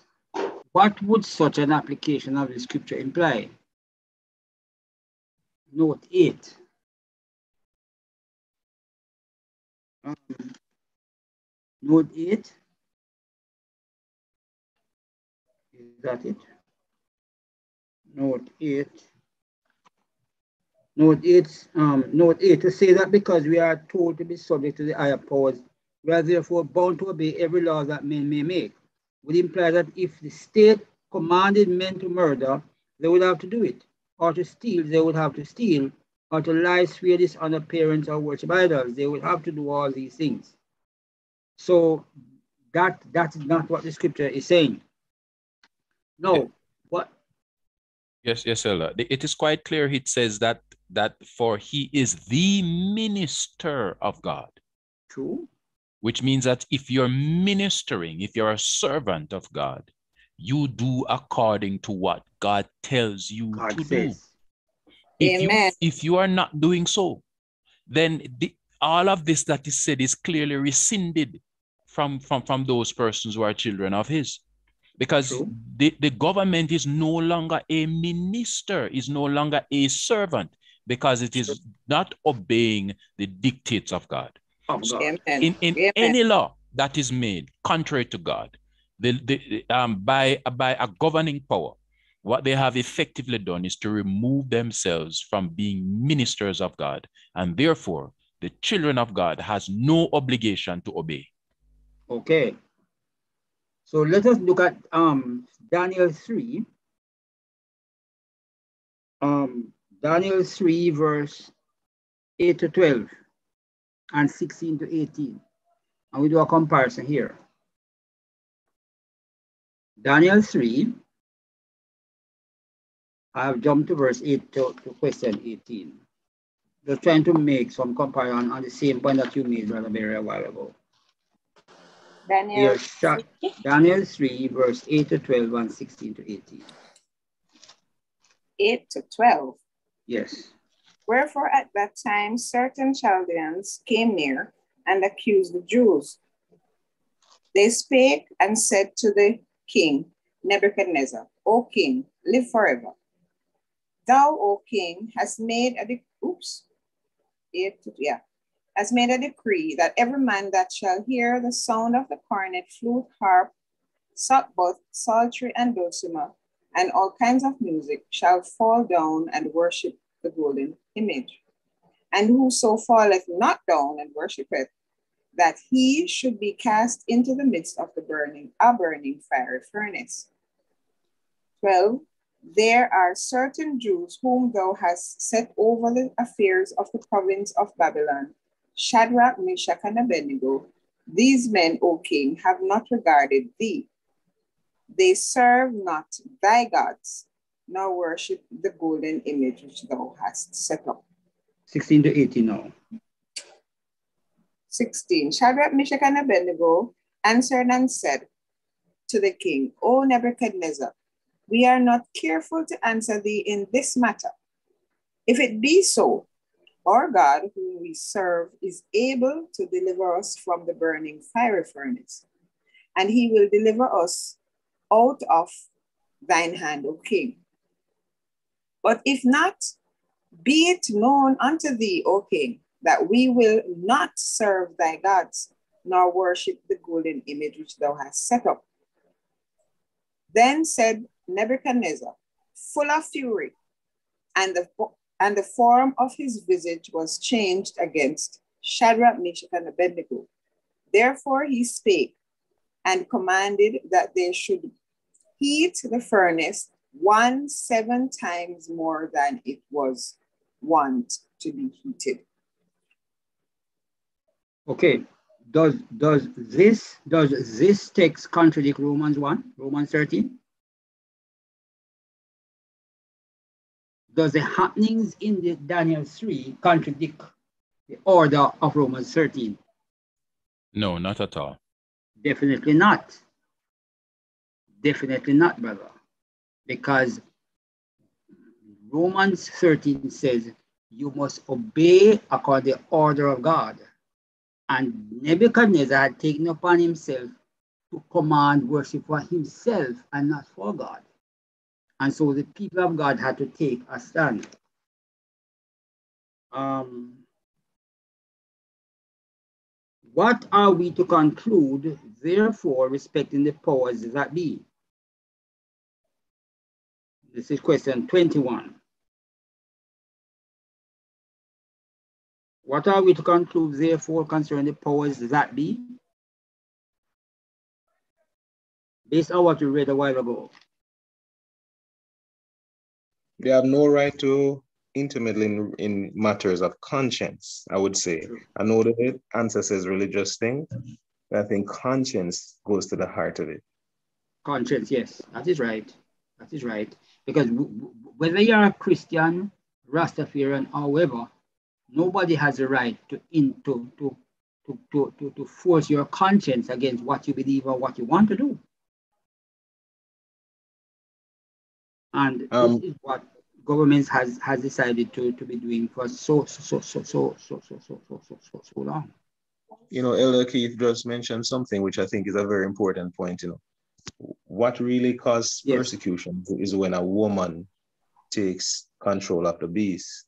We see throughout scripture that governments are always prone to persecute. We saw that in Medo Persia, um, when they mm-hmm. perse- in the book of Esther, for example.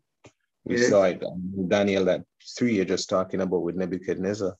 Yeah. And even in the time of pagan Rome, when each of these um, pagan warriors took over, I can't remember which one I was reading, and the, he was being actually invited to settle a squabble. And he said, no, let them deal with it. But you see, when Rome took over for the 1,260 days, mm-hmm. no, it, persecution went universal. And mm-hmm. that is the time we live in. No, look at the times we live in. We live in a time of tolerance, right? Mm-hmm. Where there is mild, pers- relatively mild persecution. Yeah. But when when the papacy, or not even the papacy, but its daughters as well, are visibly enthroned, are given rights to the, yes. to direct government. You know, the fallen churches of Christendom are given a big say in policies and mm-hmm. legislation. Mm-hmm we will see persecution because we've seen it in the past. God right. required that which is past. What is past will come again. There's no new come thing. Mm-hmm. Yeah, and it looks good. People say the church must do this and the church must do that. But do, do they know what they're saying? The church can do it without the arm of government. But once the woman rides the beast, you must have persecution. You must have persecution. Um, the the Acts 4, 17 and 18, I, I will just do that for the last, in the days of the apostles, when they um when they were they were prohibited to speak the name of Christ. They said we ought to obey God rather than men. So, in everything, we ought to obey God rather than men. Men cannot dictate conscience, men cannot dictate religion, men cannot dictate whether you keep the Sabbath or not. They can, they can dictate whether you kill or not, because that is man to man. But men cannot dictate what you hear from God to speak and what you hear from God to do to Yeah, please God. I know we soon close, but you see, it is the design of Satan to so obfuscate the laws of God that if you, it, he will make it seem that obedience to the laws of God will mean that you go against wellness and benevolence for all. Of course, Yeah. that is an, that is an illusion, but that is his, his daily plan for people to say, if you if you obey God's law, then people gonna die. Yeah. Anyhow, brethren, thanks for the comments. Thanks for our cooperation. Um, so we we are closing now. Brother Williamson, can you pray to close for us, please? Dear Heavenly Father, we thank you for this Sabbath school, one of the richest parts of the services of the day. Lord, and we thank you for the subject which was discussed. We we needs be needs to look into it much, much more, especially as we come closer to issues in this world coming to a head. We need to understand, dear Lord, why we are who we are and how we must prepare to stand. And even though we prepare, we know that the horse is prepared against the day of battle, but going forth is of the Lord. And so we depend upon you, for we know our fleshly arm will fail us. There is no power in it. We need the pouring of your spirit to meet that which is to come. But clean up our vessels, forgive us of our many sins, and help us, dear Lord, to have the mind of Christ so that we may not desire to transgress. In Jesus' name, amen. Amen. Amen. Over to you, Sister Terry. Yes, thank you, Brother Davis, for the musical item, also for the reviewing of the lesson. I also like to thank all those who make comments. It's much appreciated. At this time, we'll turn over to Sister Susan Ruffin for the welcome and fellowship. Sister Susan Ruffin. Good morning to everyone. Happy Sabbath. Good morning. It's a privilege to Morning, be in the sis. courts, to be in God's presence on this holy Sabbath day. The opportunity has granted unto me to welcome each and everyone that make it possible to be in worship this morning. We normally call everybody and welcome everybody, so I'll do it different this morning. All the couples, we welcome you. All husband and wife, we welcome you in a very special way. If you are not there, maybe we wouldn't have service. The single people, without you, service might have been not what it is this morning. So I welcome you. I welcome everyone to Sabbath school this morning. And all who participated in the lesson, we welcome you and we thank you. A special welcome is going out to our dear pastor. Today he will be he's celebrating his birthday. And it's a wonderful thing to be celebrating your birthday on the Sabbath day. So you have double blessings. I hope that his family will make it a special day for him today. So happy birthday, Pastor, and I wish you all the best. And everybody else, happy Sabbath, and I wish you all God's blessing. Welcome one, welcome all in Jesus' name. Thank you. Blessings. Amen. you. Amen. Amen. At this time, we've come to a very special moment in our, on our program. How could we go without hearing from our children? We'll now turn over to Brother Dave McFarlane, who's the host for today's children program.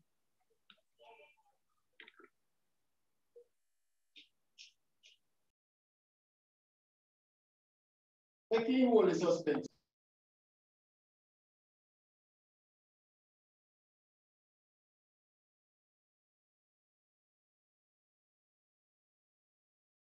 Um, you can after, oh, but you might have went, which is.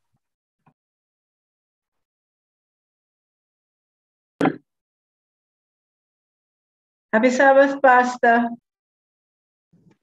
All right, it's the children segment. Happy birthday, Pastor. Thank you, thank you. And what you All right. collected last night, Pastor, that is on behalf of CFMI. Happy birthday. Oh boy, thank you. Amen.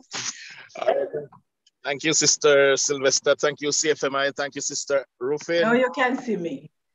Let me say that, brother, last night I learned that today is Brother Fagan's birthday as well. I think he's on. I heard him. I heard him earlier. Elder Fagan, you're still Happy on. birthday, Brother Fagan and Pastor. Feliz cumpleaños. A Yes, los sister. hombres. Terry. I was just saying happy birthday to you and Brother Fagan. Thank you, thank you, thank you. Happy All birthday right. to both gentlemen. We- We've found a nice little spot now where the reception is good, so I'm going to turn over to the children. Dave is the host for today. Morning and happy Sabbath, everyone. Happy Sabbath, sir. Happy Sabbath. Before we begin, we will now have the prayer by Davia.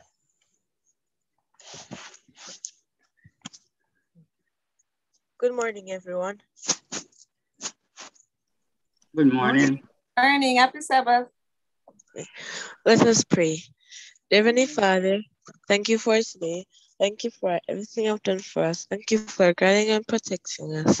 As we as we go through today, please allow us to learn something new and use it with our daily life. In name I pray. Amen. Amen. Amen. We will now have the music, which will be a recording of Jesus Loves the Little Children.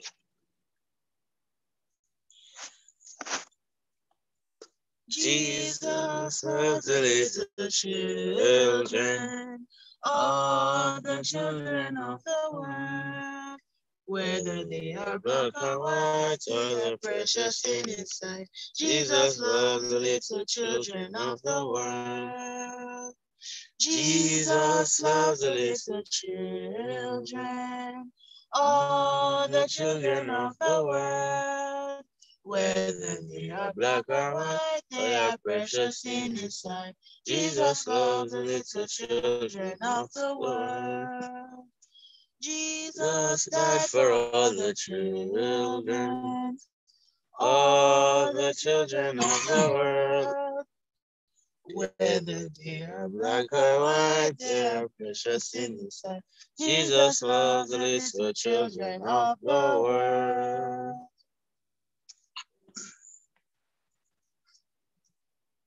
Amen.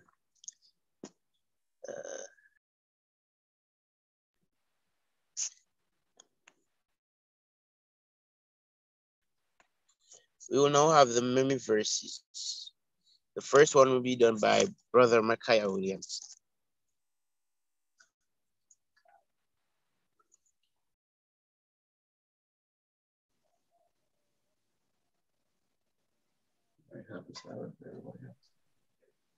Happy Sabbath, everybody. Happy Sabbath. Happy Sabbath. Happy Sabbath, Micaiah. Remember verses, go ahead. My final verse is Matthew 22, Two. 2, verses 37. Jesus said unto him, Jesus said unto him, you, you shall love the Lord thy God with all your heart and with all your soul and with all their mind.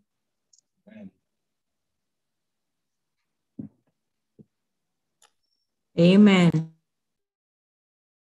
Amen. Amen. Amen. Amen.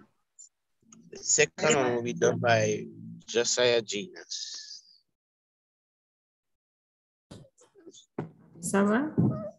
Summer?